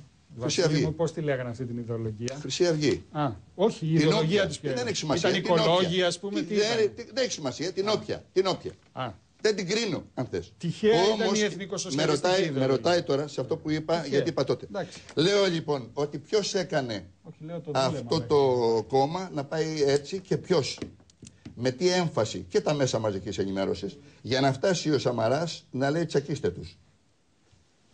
Για ποιο λόγο η Χρυσή Αυγή, ενώ υπάρχει ο νόμος ο 3090 που απαγορεύει όταν προσάγεται κάποιος στον ανακριτή ή στον εισαγγελέα, να στείνει θέατρα και σκηνικά έξω στα- από τη Γάδα. Και να λέει ο, με το walkie talkie ο, αντιπα- ο αστυνόμος Α ότι σε 2-3 λεπτά κατεβαίνουν, όταν ο νόμος του 2002, ο 3090, λέει ότι αυτός που συνοδεύει τον προσαγόμενο στον ανακριτή και στον εισαγγελέα πρέπει να συλλαμβάνει αυτούς που μαγνητοσκοπούν, φωτογραφίζουν και βιντεοσκοπούν και το παίζουν το βράδυ στα μέσα μαζικής ενημέρωσης. Απαγορεύεται αυτός. Είχε πολιτική σκοπιμότητα. Βεβαίως. Η προβολή. Ποιος τα αμφισβητεί; Η προβολή. Μα η προβολή. Η δολοφονία του Παύλου Φίσα δεν είναι ανεξάρτητο γεγονός όμως. Είχαμε για, νεκρό. για την δολοφονία του Είχαμε Παύλου αίμα. Πίσα ήμουν κοινοβουλευτικός εκπρόσωπος Είχαμε και αίμα. είπα ποιος δεν θλίβεται σήμερα; Ποιος δεν Ωραία, πέρα λυπάται από τη και θλίψη. ποιος δεν συμμερίζεται. Μας περισσεύουν Ελληνόπουλα. Το είπαμε στη Κύριε Βουλή. Καπερνάρη, πέρα από Δεν τη μας θλίψη. περισσεύουν Ελληνόπουλα. Ο κύριος Ατσόπουλος είπε, Κανείς δεν περισσεύει. Γιατί περισσεύουν άλλοι άνθρωποι. άμα δεν είναι Έλληνες, Κανείς δηλαδή, δεν γιατί ψήφισα. λέτε αυτό. Γιατί το λέτε αυτό, γιατί λέτε μόνο Ελληνόπουλα. Θα σου απαντήσω μετά Δηλαδή εσένα. ο Σαχζάτ Λουκμάν, ας Μετά πούμε, θα σου ο απαντήσω, οποίος μετά πέθανε, θα σου απαντήσω. περισσεύει. Μπορεί να ξαρεφώσω αυτό. Θεωρείτε ότι Δεν με περισσεύει ενδιαφέρει αυτόν τι τον κάνει κόσμο. ο Είναι πελάτης. καλύτερα να είναι Ο ξαδερφός με πελάτης σου αυτούς δεν με παρά ενδιαφέρει εσύ. τι κάνει. Ο Απαντήσω οποίος καμία, όμως- καμία θα σχέση δεν απαντήσω θέλω να όμως έχω. τον κύριο Τατσόπουλο για αυτό που είπε. Το συγκεκριμένο θέμα. Γιατί ψήφισες εναντίον των χρηματοδοτήσεων. Διότι ήθελαν, όχι μόνο, όχι μόνο ψήφισα εναντίον της Γιατί χρηματοδότησης. ψηφίσατε εναντίον της άρσης ασυλίας των Είπα όμω, Χριστιανικών. γι' αυτό το λόγο, σου απαντώ τώρα. Για άκουσε. τον ίδιο λόγο που Και όχι- έκλεινε το μάτι Άκουσε με στο να σου πω. εκλογικό σώμα Ε, η Νέα απάντησε εσύ. Δημοκρατία. Απάντησε, Κλείνατε Πέτρο, το μάτι απάντησε στο εσύ στο εκλογικό ερώτημά σώμα σου. και οι ανεξάρτητοι Έλληνες. Απάντησε εσύ Το στο ίδιο. ερώτημά σου. Αφού με ρωτάς και δεν με αφήνεις να Αυτό που απαντήσω. είπε πριν, θέλετε το ορφανό εκλογικό σώμα. Να σου χωρίς απαντήσω τους λοιπόν. φασίστες Όχι που είναι μόνο, στην όχι ηγεσία. μόνο ψήφισα όπως ψήφισα, αλλά παρότρινα και τους βουλευτές δικηγόρους να προστατεύσουν τους άλλους, διότι δεν μπορείς στο όνομα να λες εγκληματική οργάνωση και να σταματάω τη χρηματοδότηση, όταν το να αποφασίσει κάποιος εάν είναι εγκληματική οργάνωση ή όχι, είναι μόνο τα καθήλυνα αρμόδια όργανα που είναι τα δικαστήρια. Ναι. Στο δικαστήριο του Θα περιμένουμε να 187. τους χρηματοδοτούμε λοιπόν Ρώτα τον μέχρι κύριο το Γκότσα που ήταν πραξικόπημα, νομοθέτη. Βασίλη μου. Ρώτα τον Μέχρι κύριο το Γκότσα που πραξικόπημα ήταν ο τους δίνουμε συντάκτης του λεφτά. νόμου. Όταν λες κάποιον εγκληματική οργάνωση το 187, κύριε, θα πάει στο δικαστήριο να αποδειχθεί εκεί. Όχι στη Βουλή. Δεν ξέρω τι δίνουν Κύριε εθελοντική Καπερνάρη, της γιατί δεν δημοκρατίας ήρθαν εγώ όμως στα λέω δικαστήρια; μέχρι πότε Γιατί θα δεν την ήρθαν έχουν. σήμερα στα δικαστήρια; Ο κύριος Μιχαλολιάκος, ο κύριος Παπάς, ο κύριος Λαγός. Τόσο καιρό περιμέναμε, τους περιμέναμε όλους. Λείπαν είχαν την επέτειο της γέννησης τους περιμέναμε Αδόλφου όλους, Χίτλερ. Να απαντήσω έλεγαν- και σε αυτό. Ένα λεπτό. 26η Μια επέτειος, ερώτηση, Σοφία. γιορτάζαν οι άνθρωποι.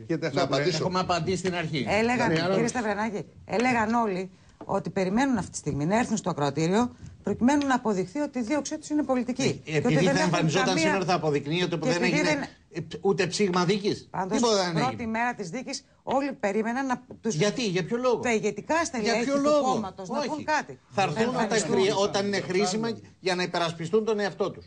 Η παρουσία του Πότε κατηγορουμένου δηλαδή, όταν είναι. θα απολογηθούν; Πώς; Όταν θα απολογηθούν. Όχι, και κατά τη διάρκεια της δίκη, το ξέρετε. Αλλά δεν θα έρθουν να κάνουν σολάτσο. Ο δικός μου εντελώς θα έρθει. Φασουλάκη, Όχι σολάτσο, κυρία να έρθουν να Φασουλάκη, η υπερασπιστούν απάντηση αυτό που λένε. Μα δεν υπερασπιστούν τίποτα. Η απάντηση είναι ότι ο κύριος Μιχαλολιάκος πάντοτε εγκαταλείπει τα σάπια μήλα όταν τους έχουν, όταν του- είναι πλέον άχρηστα. Αυτή είναι η στρατηγική Μιχαλολιάκου και τη δεκαετία του 90 απέναντι Θα στον ξαναπείστε, Περίανδρο κύριε και αυτή τη στιγμή Σταναβουτσόπουλο, φεύγει από το ίσως και πεδίο στον της κύριο μάχης παρότι Παπακιά. σωστά η κυρία Φασουλάκη λέει ότι λέγανε επί πολλούς μήνες ότι θα ζητήσουν την τηλεοπτική προβολή της δίκης ότι θα καταπέσει το ε, κατηγορητήριο μέσα από την παρέμβασή τους. Στην πραγματικότητα αφήνουν τα μεσαία στελέχη την να πληρώσουν, υποστούν, να την πληρώσουν. Εδώ Ακριβώς. μιλάτε για τους Αυτή είναι η εντολείς στρατηγική μας. Μιχαλολιάκου. Και λέτε Αυτό είναι ο πράγματα τρόπος τα οποία με τον οποίο εικάζετε ξεπέρασε με τις ένα ποινικές μαγικό διώξεις τρόπο. μέχρι τώρα. Θα Και αυτό έρθουν είναι το τι θα όλοι κάνει οι και αυτή τη υπερφλεκτός φορά. κύριος Γκόντας Αυτό είναι, αυτό όταν είναι ηρεμήσουν σίγουρο. οι εξεγέρσεις. Να ολοκληρώσω. Θα είναι όλοι Να εκεί. ολοκληρώσω, μου επιτρέπετε.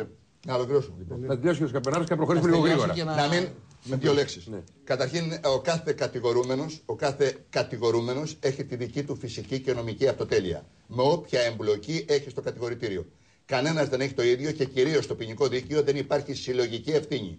Δεν υπάρχει ε, Χρυσή Αυγή, δεν είναι κατηγορούμενη Χρυσή Αυγή. Είναι κάποιοι που είναι μέλη της Χρυσής Αυγής και φέρονται ότι τέλεσαν κάποια ποινικά αδικήματα. Μόνο στην Να τελειώνουμε. ιδεολογία των εθνικών Από εκεί σοσιαλιστών και υπάρχει ύστερα, συλλογική απαντώ, ευθύνη. λοιπόν, Μόνο και εκεί λέμε- υπάρχει συλλογική ευθύνη. Εσύ, Στην ε, ιδεολογία των εθνικών σοσιαλιστών. Πραγματικά στο Και ποινικό κάτι δίκαιο άλλο για δεν να υπάρχει. ολοκληρώσω.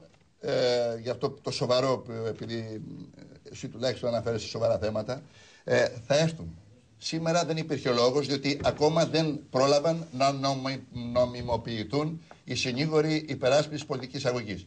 Για ποιο, γολο- να- για ποιο λόγο έπρεπε να έρθουν, κατά την άποψή μου, δεν με ενδιαφέρει, αλλά για Έχουν ποιο λόγο. δικαίωμα θα- και να μην για έρθουν ποιο λόγο- πάντως, κύριε Σαφέστατα με Καπερνάρη, έτσι. 340, Αναφέρω το δικονομικό βεβαίως με δικαίωμα. εξουσιοδότηση, αλλά Ναι, σήμερα έτσι, με για πλήρη ποιο λόγο να εξουσιοδότηση. έρθουν, να είχαμε πιθανά Για άλλα να τους πράγματα. βρίζουν οι Έτσι. συντεταγμένοι Όμως έξω. ο δικός μου εντολέας να ξέρεις ότι θα έρχεται συνεχώς. Ή όποτε κρίνουμε ότι αξίζει τον κόπο να έρθει, Ζανάκη, ο όταν κύριος εξετάζουμε Παπάς θα μάρτυρε πάει που αφορούν και αυτόν. Ο κ. Παπά θα πάει. Α, τελειώνω. Τελείωσα. Ευχαριστώ πολύ. Θα έρθει. Όλοι θα πάνε. Ωραία, κύριε Μητρακόπουλος. Κύριε- Λοιπόν, να- εντάξει, κύριε λεπτά. Πρετεντέρη, Εντάξει, να Μητρακόπουλο, συμπληρώσω κύριε αυτό. Σταριανάκη. Ναι, Για να να- συμπληρώσω κάτι. Επειδή ρωτήσατε προηγουμένως και είπε ο Βασίλης την άποψή του σχετικά το αν είναι εγκληματική ή δεν είναι κτλ. Θα, συ- θα σημειώσετε το εξής.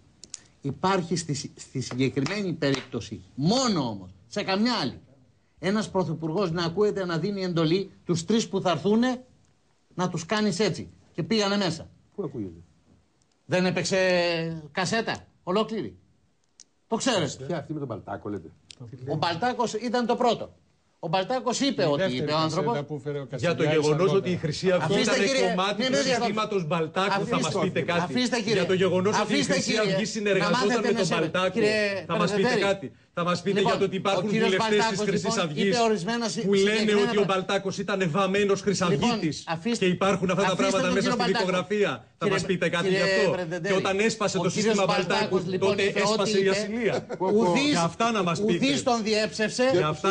Ουδής τον διέψευσε και ουδής τον μήνυσε. Ποιον; Τον Μπαλτάκο. Αυτό το διώξαμε την κυβέρνηση. Μισό τον μήνυσε κανείς. Του είπε ότι λέει ψέματα. Δεν το κατάλαβα. Του λέει στην κυβέρνηση, τι άλλο του κάνει; ε, Επαναλαμβάνω και θα το ξαναπώ. κύριε δεν τον ε, έδιωξε, να είμαστε λίγο ακριβείς. Λοιπόν, λοιπόν ελάτε, μισό λεπτό και τελειώνω. Ο κύριος Ρουπακιώτης, πρώην Υπουργός Δικαιοσύνης, είπε ότι για να διώξουμε τη Χρυσή Αυγή ερχόταν και μας ε, ε, κυνηγούσε το εβραϊκό λόμπι και ήρθαν στο δικό μου γραφείο. Και τώρα που πήγε, λέει ο Πρωθυπουργός, έπρεπε να τους πει κάτι. Σε γνωστή εκπομπή άλλου καναλιού. Είναι γραμμένο και αυτό. Το είπα, και να τελειώσω λοιπόν, να τελειώνω. Και τελειώνω. Και τελειώνω. Και τελειώνω. Θα ακούσετε αυτά που είναι. Αν δεν σα αρέσει, είναι άλλο θέμα. Μόνο το σεβασμό, τέτοιε κουβέντε περί εβραϊκού δεν πρέπει να λέγονται σε αυτό το τράπεζο. Κύριε Παλασόπουλε, σα παρακαλώ. Είστε έμπειρο δεν επιτρέπονται τέτοια πράγματα σε αυτό το τραπέζι. Σα ακούει ο ελληνικό λαό. Πού είμαστε. Έχει κολλήσει. Ο κύριο Σταυριανάκη από του εντολεί του. Στη δεκαετία του 40 σας παρακαλώ. Σας παρακαλώ. Οι σας αρνούνται το ολοκαύτωμα. Αφήστε κύριε. Δεν ενδιαφέρει τα ολοκαυτώματα. Προφανώς. Είστε και εσεί. Τι έκανα; Είσαστε κι εσείς αρνητής τους, φαντάζομαι. Τι πάει να πει, δεν σας ενδιαφέρει το ολοκαύτωμα. Για, η, Χρυσή Αυγή αρνείται, η Χρυσή Αυγή αρνείται το ολοκαύτωμα. Λοιπόν, το καταλάβατε. Αρνείται το μεγαλύτερο έγκλημα Άντε, στην ιστορία. Πώς να μην αρνείται το ότι έκανε κάποιες δολοφονίες και κάποιες απόπειρες ανθρωποκτονίε. Κύριε Πρεδέτερ, τελειώνω λοιπόν λέγοντας το εξής. Σας να τους βγάλετε αρνάκι. Τελειώνω. Κύριε Τασιόπουλο, δεν σας πάρω την άδεια. Σας είπα, σας σέβομαι, αλλά προτίστε να σας σέβονται. Όχι, κάνετε αποτίμηση ότι είναι αστείο. Έχουμε λοιπόν, νεκρούς από μια φασιστική λοιπόν, οργάνωση, από αυτούς που λέτε ότι το κάνανε από αφηρημάδα. όχι, δεν είπα το κάνανε καθόλου. Δεν είπα το πράγματα, οι Εβραίοι. είπα. Και σας λέω για στοχοποίησαν οι Εβραίοι έτσι, τους διάλεξαν στο σωρό. έξω, ρωτήστε τον κόσμο, τον όποιο, τον τυχαίο και πείστε, πείτε, η δίωξη κατά των στελεχών της Χρυσής Αυγής ήταν μια δίκαιη δίωξη ή ήταν φτιαχτή; εάν άμα βρείτε ένα να σας πει ότι δεν ήταν φτιαχτή. Κύριε Παπαγιανάκη, άμα σας σκοτάει, βγείτε έξω. Ελάτε να πάμε μαζί. Ελάτε να πάμε μαζί. Τι λέτε τώρα, θα πάμε να κάνουμε δημοσιογραφία να δούμε. Αλλά ελάτε μαζί να δούμε αν τολμάει. Θέλετε να πείτε ότι φοβόμαστε. Η ασυλία που απολάμβανε η Χρυσή Αυγή όλα τα προηγούμενα χρόνια τον απλό κόσμο. Γιατί θα μας αποδοθούμε. Μα το προσφέρετε ένα κόμμα και έρχεστε να μου πείτε ότι ο ελληνικός λαός ξέρει ότι αυτοί είναι εγκληματίες και τους δίδει. Πάντως αυτά που λέτε είναι εις βάρος τους. Κακό τους κάνετε με αυτά που λέτε. Αυτά κύριε Παλασόπουλε. Αυτά που λέτε, αυτά που λέτε τους κάνετε κακό. Σας παρακαλώ, μιλάτε όλοι μαζί. Ούτε να τους βοηθήσετε να κρατήσουμε. Αφήστε Σας παρακαλώ. Σας παρακαλώ. Να κρατήσει τον ελληνικό λαό. Πρώτον, να δει τον ελληνικό λαό των πραγμάτων. Δεν τους ψήφισε ο ελληνικός λαός. Έτσι. Δεν τους ψήφισε ο ελληνικός λαός. Το 6%. Δεν είναι ελληνικό λαό το 6%. Όχι, όχι. Το Ανταρσία έχει παραπάνω. Λέω, Λέω, Ότι το επιχείρημα ψήφισε ο ελληνικό λαό δεν του ψήφισε ο ελληνικό λαό, τους ψήφισε το 6% του ελληνικού ναι, λαού. Ναι, κύριε. Αυτό είναι. Και το 10% στις ευρωεκλογές. Και το 10%. Συγγνώμη, θα κάνω ένα λεπτό, κύριε Παπαγιάννη. Ένα Παπαγιαννάκι. Το να βάζουμε. Ψηφίζει εγκληματίες. Να βγούμε έξω. Ένα μέρος του ελληνικού λαού. Αυτά είναι. Θα ψηφίζει εγκληματίες. άλλα και άλλα. Όπως και οι δικηγόροι υπερασπίζονται εγκληματίες και καλά κάνουν γιατί είναι η δουλειά τους αυτή. Έτσι και το εκλογικό σώμα να το πούμε ψηφίζει εγκληματίες. Το 6% του εκλογικού Αποτιμήστε σώματος. το έτσι, κύριε Τασόπουλο. Ναι, το αποτιμώ. Έτσι. Τι να κάνουμε, αυτό το λίθο τα σκύρα, κανένας δεν έχει ευθύνη, κανένας σε αυτή τη χώρα δεν έχει ευθύνη. Ούτε αυτοί που την ρήμαξαν. Αδικούμε, και τον ελληνικό λαό όταν κάναμε μια συζήτηση που ε. ναι, ομολογουμένως ήταν σε υψηλό επίπεδο να λέμε ότι θα βγούμε έξω στον δρόμο να μετρήσουμε και να ρωτήσουμε και τον απλό. Και, τον, υποτιμάμε φρικτά με αυτόν τον τρόπο. Έχουμε ναι, ναι, να κάνω μια τοποθέτηση κάποια δευτερόλεπτα. Ελάχιστα Δημιουργικές ε, διακοπές από τους συνομολητέ. Ωραίο. Και ασάφειες.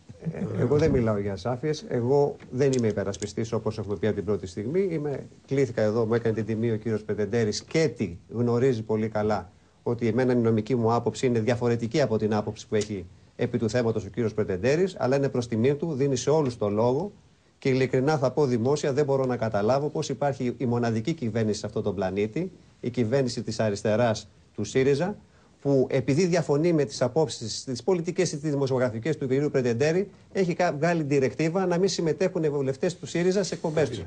Το λέω, αυτό, παρακάτω. το λέω αυτό γιατί, κύριε Πρετεντέρη, όταν είμαστε στον τηλεοπτικό φανο- φακό, το μακιγιάζ μπορεί να μας κλείσει, να μας αποκρύψει τις ρητίδες. Τα ρητιδιασμένα όμως επιχειρήματα ό,τι και μακιγιάζ να βάλεις μέσα στη τηλεόραση δεν μπορεί να κρυφτούν. Γι' αυτό μας καλείτε, λέμε τις απόψεις μας και μας κρίνει ο ελληνικός λαός. Σας λέω λοιπόν μέσα από αυτή τη σύντομη, έτσι, αν θέλετε, προεισαγωγή, ότι είναι η δίκη της ε, Χρυσής Αυγής είναι μια δίκη καθαρά ποινική. με πολιτικό ενδιαφέρον. Θα έλεγα λοιπόν, επειδή γνωρίζουμε εμείς οι μαχόμενοι δικηγόροι τι σημαίνει η κυρία Λεπενιώτη, είναι μια πολύ ισχυρή προσωπικότητα ως δικαστής. Όσοι και να διαδηλώνουν απ' έξω, εάν έχει μια νομική άποψη, δεν πρόκειται να την αλλάξει. Α έρθουν και με τάγκς μπροστά να, να, να επηρεάσουν την κρίση της. Άρα, θα πρέπει να υποθούν άρα ύβρις σε μην μη βάρος. διακόπτετε. Δεν πρέπει να Άρα υποθούν θα ύβρις πρέπει, σε βάρος της. θα πρέπει Η Χρυσή λοιπόν. Αυγή έχει πει θα ύβρις πρέπει- σε βάρος των δύο ανακριτριών. θα πρέπει Έχουν λοιπόν. υποθεί θα- ασύλληπτα Αφήστε και πράγματα. κάποιον κυρία να μιλήσει. Σας Είναι παρακαλώ. πάρα πολύ δείχτε ένα, σημαντικό δείχτε ένα αυτό, μιας και πολιτισμό. αναφέρατε την κυρία Λεπενιώτη. Ελάτε, αφήστε τον, κύριε Καπαγιάννη. Δύο Ελάτε, ελάτε, ανακρίτριες κύριε Καπαγιάννη. αποκλήθηκαν πορνόψυχες, μπορούμε να το Λοιπόν. πούμε γιατί είναι αργά, από τον κύριο Αρβανίτη. Σας λέω, λοιπόν, Πορνόψυχες. σας λέω, λοιπόν, Αυτή είναι η λέξη που χρησιμοποιήθηκε. Το είπατε Και άρα τρεις να φορές. μην ακούσουμε ποτέ ξανά τέτοια Κατεγράφει, το άκουσε. Δεν γνώριζα Σας το- λέω δεν λοιπόν γνώριζα τον όρο, ότι θέλω η να συγκεκριμένη Ε, εφέτη. ξέρει πολλά ο κύριος Η Αρβανίτης. συγκεκριμένη εφέτης, όσες και διαδηλώσεις να γίνουν, αν δεν προκύψουν στοιχεία από την ποινική Και γράμματα, δικογραφία βέβαια. και όχι από την πολιτική δικογραφία, δεν πρόκειται να υπάρξει ούτε καταδίκη ούτε τίποτα άλλο.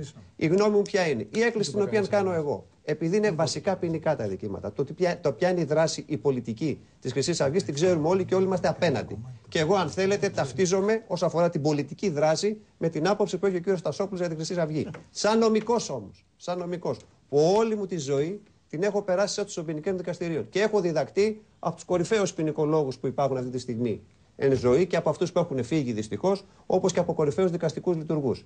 Υπάρχει μια νομολογία των δικαστηρίων. Και τι είναι η νομολογία των δικαστηρίων; Πώς ερμηνεύουν τα δικαστήρια και ο Άριος Πάγος, τα δικαστήρια ουσίας και ο Άριος Πάγος, τις ποινικές διατάξεις. Η έκκληση την οποία κάνω εγώ είναι ότι όπως ερμηνεύει ο Άριος Πάγος τις ποινικές διατάξεις, έτσι θα πρέπει να την ερμηνεύσει και για τους Χρυσαυγίτες. Δεν θα πρέπει να γίνει ποινική δικηγορία, ποινική μάλλον διαδικασία, αλλά κάτι. Γιατί αυτό είναι μια προσβολή στο κράτος δικαίου. Και κλείνω. Υπάρχουν στα 28 χρόνια, αγαπητέ Πέτρο Τασόπουλε, που εγώ δικηγορώ, υπάρχει το αδίκημα της οπλοφορίας. Το οποίο αυτό αδίκημα της πληροφορίας για χιλιάδες Έλληνες συμπολίτες μας, όταν τους πιάσουν με μια καραμπίνα, τους βάζουν τρεις μήνες με φυλακή. Είναι δυνατόν για μια καραμπίνα που συνελήφθη ένας βουλευτής, τον οποίο, αν θέλεις, από τη στιγμή που επιτέθηκε και στην ε, Λιάννα την Κανέλη, αισθάνομαι πολύ αρνητικά μαζί του. Α, δηλαδή, ε, ε, α, ε, πώς να, το, να μην το χαρακτηρίσω. Είναι όμως δυνατόν, επειδή αυτός ο άνθρωπος είναι στη Χρυσή Αυγή, έχει μια αλόκοτη πολιτική δράση, φασιστική, ναζιστική είμαι μαζί σας.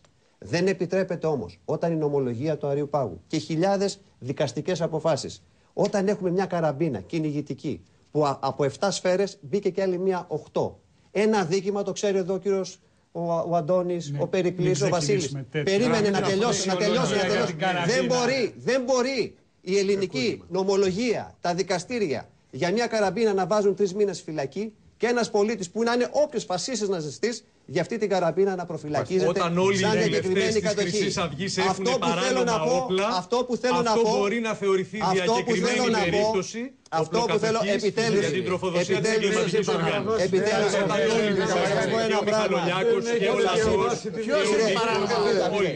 Κύριε Παπα- Και ο Καπαγιάννη, Κασιδιάρης φυσικά. επιτρέψτε μου, Αυτή είναι η επιτρέψτε μου, πραγματικότητα. κύριε Πρέπει να Καπαγιάννη, ακούσετε Όταν στο δικαστήριο. κατεβαίνανε στο Ένα Μεγαλά, λεπτό. σε Κύριε- στρατιωτικού Κύριε σχηματισμούς. Καπαγιάννη, επιτρέψτε μου Τώρα να νομίζετε μας ακούει κανείς, μιλάτε όλοι Όταν, μαζί. όταν κατεβαίναν στο Κύριε Μεγαλά Τασόπουλε. σε στρατιωτικό σχηματισμό. Κύριε Τασόπουλε. Αυτό τι ήταν, ήταν γυμναστικές επιδείξεις; Κύριε Τασόπουλο, να σας Τι πω κάτι. ήτανε, Αν γιατί μου το απαντάτε, κάνανε αυτό; θέλετε να σας απαντήσω εγώ. Ναι, πείτε ποινικά, ποινικά είναι αδιάφορη αυτή η συμπεριφορά. Όχι, Πολιτικά είναι είναι αδιάφορη. καταδικαστέα, Είναι αδιάφορη. αλλά δεν Η παραβιάζουν. παραστρατιωτική οργάνωση η είναι μόνιμη αδιάφορη. Ξαναλέω. Πότε Δεν γίνεται υπάρχει. ενδιαφέρουσα; Κύριε Τασόπουλε, Όταν κάνουν κύριε πραξικόπημα γίνεται Τασόπουλε, να σας ενδιαφέρουσα. πω κάτι. Με ρωτάτε ως ποινικολόγο. Να τους δώσουμε όλο ή με τον ρωτάτε- χρόνο. Ένα λεπτό. Ένα του. Κύριε Στο Τασόπουλε. Χίτλερ του Κύριε δώσανε. Τασόπουλε, Το αυτό που 23 του δώσαν 10 χρόνια Κύριε χρόνο Τασόπουλε, πρέπει για να να ετοιμαστεί. Κύριε να δώσουμε Τασόπουλε, στον Μιχαλολιάκο και εμείς επιτρέψτε μου. 10 Η χρόνια. απάντηση ποια είναι. Η εγκληματική οργάνωση έχει άλλη έννοια στη λογοτεχνία και άλλη έννοια στην ποινική. Δεν είναι λογοτεχνία, κύριε. Αφήστε η με, εγκληματική κύριε. οργάνωση. Αφήστε με, Υπάρχουν κύριε. εγκληματικές πράξεις. Κύριε- κύριε να το Τασόπουλε. ξαναπώ Κύριε ότι το Τασόπουλε. Συμβούλιο της Ευρώπης Μην τα ξαναπείτε, πολύ πριν τα- από τον τα Τογιάκο εμπεδώσαμε, κύριε είχε Τασόπουλε. ανακοινήσει το Κύριε θέμα Τασόπουλε. της εγκληματικής Κύριε δράσης Τασόπουλε, της τα Χρυσής εμπεδώσαμε. Αυγής. Το τι είναι όμως ποινικό αδίκημα. Ο ΙΕ το έκανε αυτό. Κύριε Τασόπουλε, στην ελληνική Καταλαβαίνετε τι δημοκρατία. λέμε. Καταλαβαίνω απόλυτα, αλλά Η επιτρέψτε ελληνική μου. δημοκρατία είναι έξω από το Συμβούλιο της είναι Ευρώπης. δημο- Αφήστε όμως. Το Μόνο Συμβούλιο στην της περίοδο Ευρώπης. Της δικτατορίας είχε Το αποβληθεί Συμβούλιο από της το Ευρώπη. Συμβούλιο Κύριε της Τασόπουλε. Ευρώπης. Το Συμβούλιο. Θέλετε να ξανααποβληθούμε; Κύριε Τασόπουλε, το Συμβούλιο της Ευρώπης Τη είναι Ζαρούλια δικαστήριο ήταν ποινικό. έτοιμοι να την αποβάλουν. Το Συμβούλιο Θέλετε να Ωραία, αποβάλουν κύριε για την Τασόπουλε, Ελλάδα; το είπατε δέκα φορές. Ωραία, Το κύριε Συμβούλιο Τασόπουλε. της Ευρώπης είναι ποινικό δικαστήριο. δεν Τις είναι- ποινικές όχι, διατάξεις τις προσδιορίζει το Όχι, Συμβούλιο της κύριε, Ευρώπης. αλλά υπήρξαν Τα δικαστήρια της εγκληματικές χώρας πράξεις. μας. Κύριε Δεν ήταν Τασόπουλε. η ιδεολειψία μας. Εμένα είναι η άποψή μου ποια είναι. Η ελληνική και τελειώνει. Ωραία, θα Η κρίσει- ελληνική ποινική νομολογία που εφαρμόζεται για όλους τους Έλληνες. Είτε είναι χρυσαυγήτη, Πρέπει να εφαρμοστεί και είτε στους πολίτες. είναι, Ωραία. προσέχτε, είτε είναι ο τελευταίος εγκληματίας, είτε είναι αναρχικός. Θα πρέπει να εφαρμόζεται γενικά και απροσωπόληπτα η ίδια. Απόλυτα. Δεν πρέπει να γίνεται Κύριε Δημητρακόπουλε, αλλά αυτό κάτ δεν σημαίνει ποινική Από ότι ένα μπορεί να δικαιοσύνη. κατηγορητήριο αλλάξει όμως 700 μια σελίδων μας απόφαση. λέτε για την κομμένη Πάντως, καραμπίνα. η τώρα. μόνιμη- Δηλαδή, Ναι, γιατί μόνιμη αυτό με έχει παραστρατιωτική εντυπωσιάσει. Δηλαδή ότι ήταν Και παραστρατημένος Γιατί Πω, πω, όχι, όχι, Η κύριε, παραστρατιωτική όχι, δομή κύριε. συγκροτεί την μορφή, την ομοτυπική Ωραία, του 187. Θα τα πει ο ο- κύριος ο- ο- Γκότζα, ο- ο- ο- που είναι και ο ο- ο- δημιουργός ο- του. ο- ο- ο- Και ο δημιουργός του. Σοβαρά. 60 δεύτερα. Ναι, λοιπόν, ε, εγώ θεωρώ τη δίκη αυτή ότι είναι, έχει ιστορικές διαστάσεις. Ε, θα έλεγα ότι είναι ισοδύναμη με τη δίκη των πρωτοετίων και έχουν έναν περίεργο συμβολισμό. Η δίκη των πρωτοετίων που αφορούσε την κατηγορία και την καταδίκη αυτών που μας στέρισαν τις ελευθερίες μας είναι στην έναρξη αυτού του μεγάλου κύκλου της μεταπολίτευσης η δίκη αυτή, η σημερινή, συμπίπτει με το τέλος της μεταπολίτευσης. Και αν θέλετε η ουσία της κατηγορίας, το τι θα αποδειχθεί θα το πούνε οι δικαστές, είναι ότι υπονομεύονται από τη δράση αυτής της εγκληματικής οργάνωσης, υπονομεύονται οι ελευθερίες. Άρα πρέπει να είναι μια δίκη υπόδειγμα. Τι εννοώ υπόδειγμα; Θα τηρηθούν όλες οι εγγυήσεις του κράτους δικαίου για όλους τους διαδίκους. Θεωρώ ότι είναι πολύ σημαντική και η προσφορά της ε, οργάνωσης που μας είπε ο αγαπητός φίλος ο Λευτέρης. Διότι σε όλες τις ιστορικές δίκες ανεξάρτητοι νομικοί ήσαν παρόντες στη δίκη, κατέγραφαν τις απόψεις τους Μάλιστα. και αυτό συνιστούσε μια πολύ χρήσιμη δουλειά. Η τελευταία μου σκέψη. Όταν λέμε ότι πρέπει να τηρηθούν όλοι οι κανόνες του κράτους δικαίου και όλες οι εγγυήσεις, αυτό δεν σημαίνει ότι όλη η κοινωνία θα αδρανοποιηθεί, όλο το πολίτευμα θα αδρανοποιηθεί, γιατί έχουμε ένα κακό ιστορικό προηγούμενο. Με τα ίδια περίπου γεγονότα, τη δίκη του 1924, όπου ε, δικάστηκε για εσχάτη προδοσία ο άδερφος Χίτλερ, καταδικάστηκε για εννέα χρόνια. Έκανε 1,5 μετα- για πέντε και ναι, ναι, έμεινε συγγνώμη. εννιά μήνες έμεινε Με- μέσα. και τελικά έμεινε μέσα για εννέα μήνες. Πιστεύω ότι οι δικαστές έχουν εκτός από τη νομική και μια ιστορική συνείδηση. Και να αναφέρουμε τι και τη εννοώ- δίκη των δολοφόνων του Λαμπράκη. Ε, να τελειώσω. Που είναι μια Ναι, ανάλογη με συγχωρείτε. περίπτωση. Πιο Τι πρόσφατη. θέλω να πω. Δεν πρέπει να εγκαταλειφθεί αυτή η δίκη. Η δίκη. Όταν λέω δεν πρέπει να εγκαταλειφθεί, τι σημαίνει; Ότι θα παρακαλούσα θερμά τα μέσα μαζικής ενημέρωσης να είναι κάνουμε. παρόντα. Όσο και ενδιαφέρον θα είμαστε εκεί. Διαφημίσεις. Θα ξεκινήσω τον κύριο Μαραγκό που μας εγκατέλειψε πρώτος για λόγους που πόσο εμείς δεν καταλάβαμε. Ε, θα ευχαριστήσω πολύ τον κύριο Θανάση Καμπαγιάννη, τον κύριο Περικλής Σταυριανάκη, τον κύριο Αλέξανδρο Αλεξιάδη, τον κύριο Βασίλη Καπερνάρο, τον κύριο Μιχάλη Δημητρακόπουλο, τον κύριο Λευτέρη Παπαγιανάκη, τον κύριο Αντώνη Βγόντζα, τον κύριο Βασίλη Βαλασόπουλο, τον κύριο Πέτρο Τατσόπουλο και τη Σοφία Πασφυλάκη, την αδελφό μου. Κυρίες και κύριοι, θα είμαστε μαζί την άλλη Δευτέρα. Καλή σας νύχτα.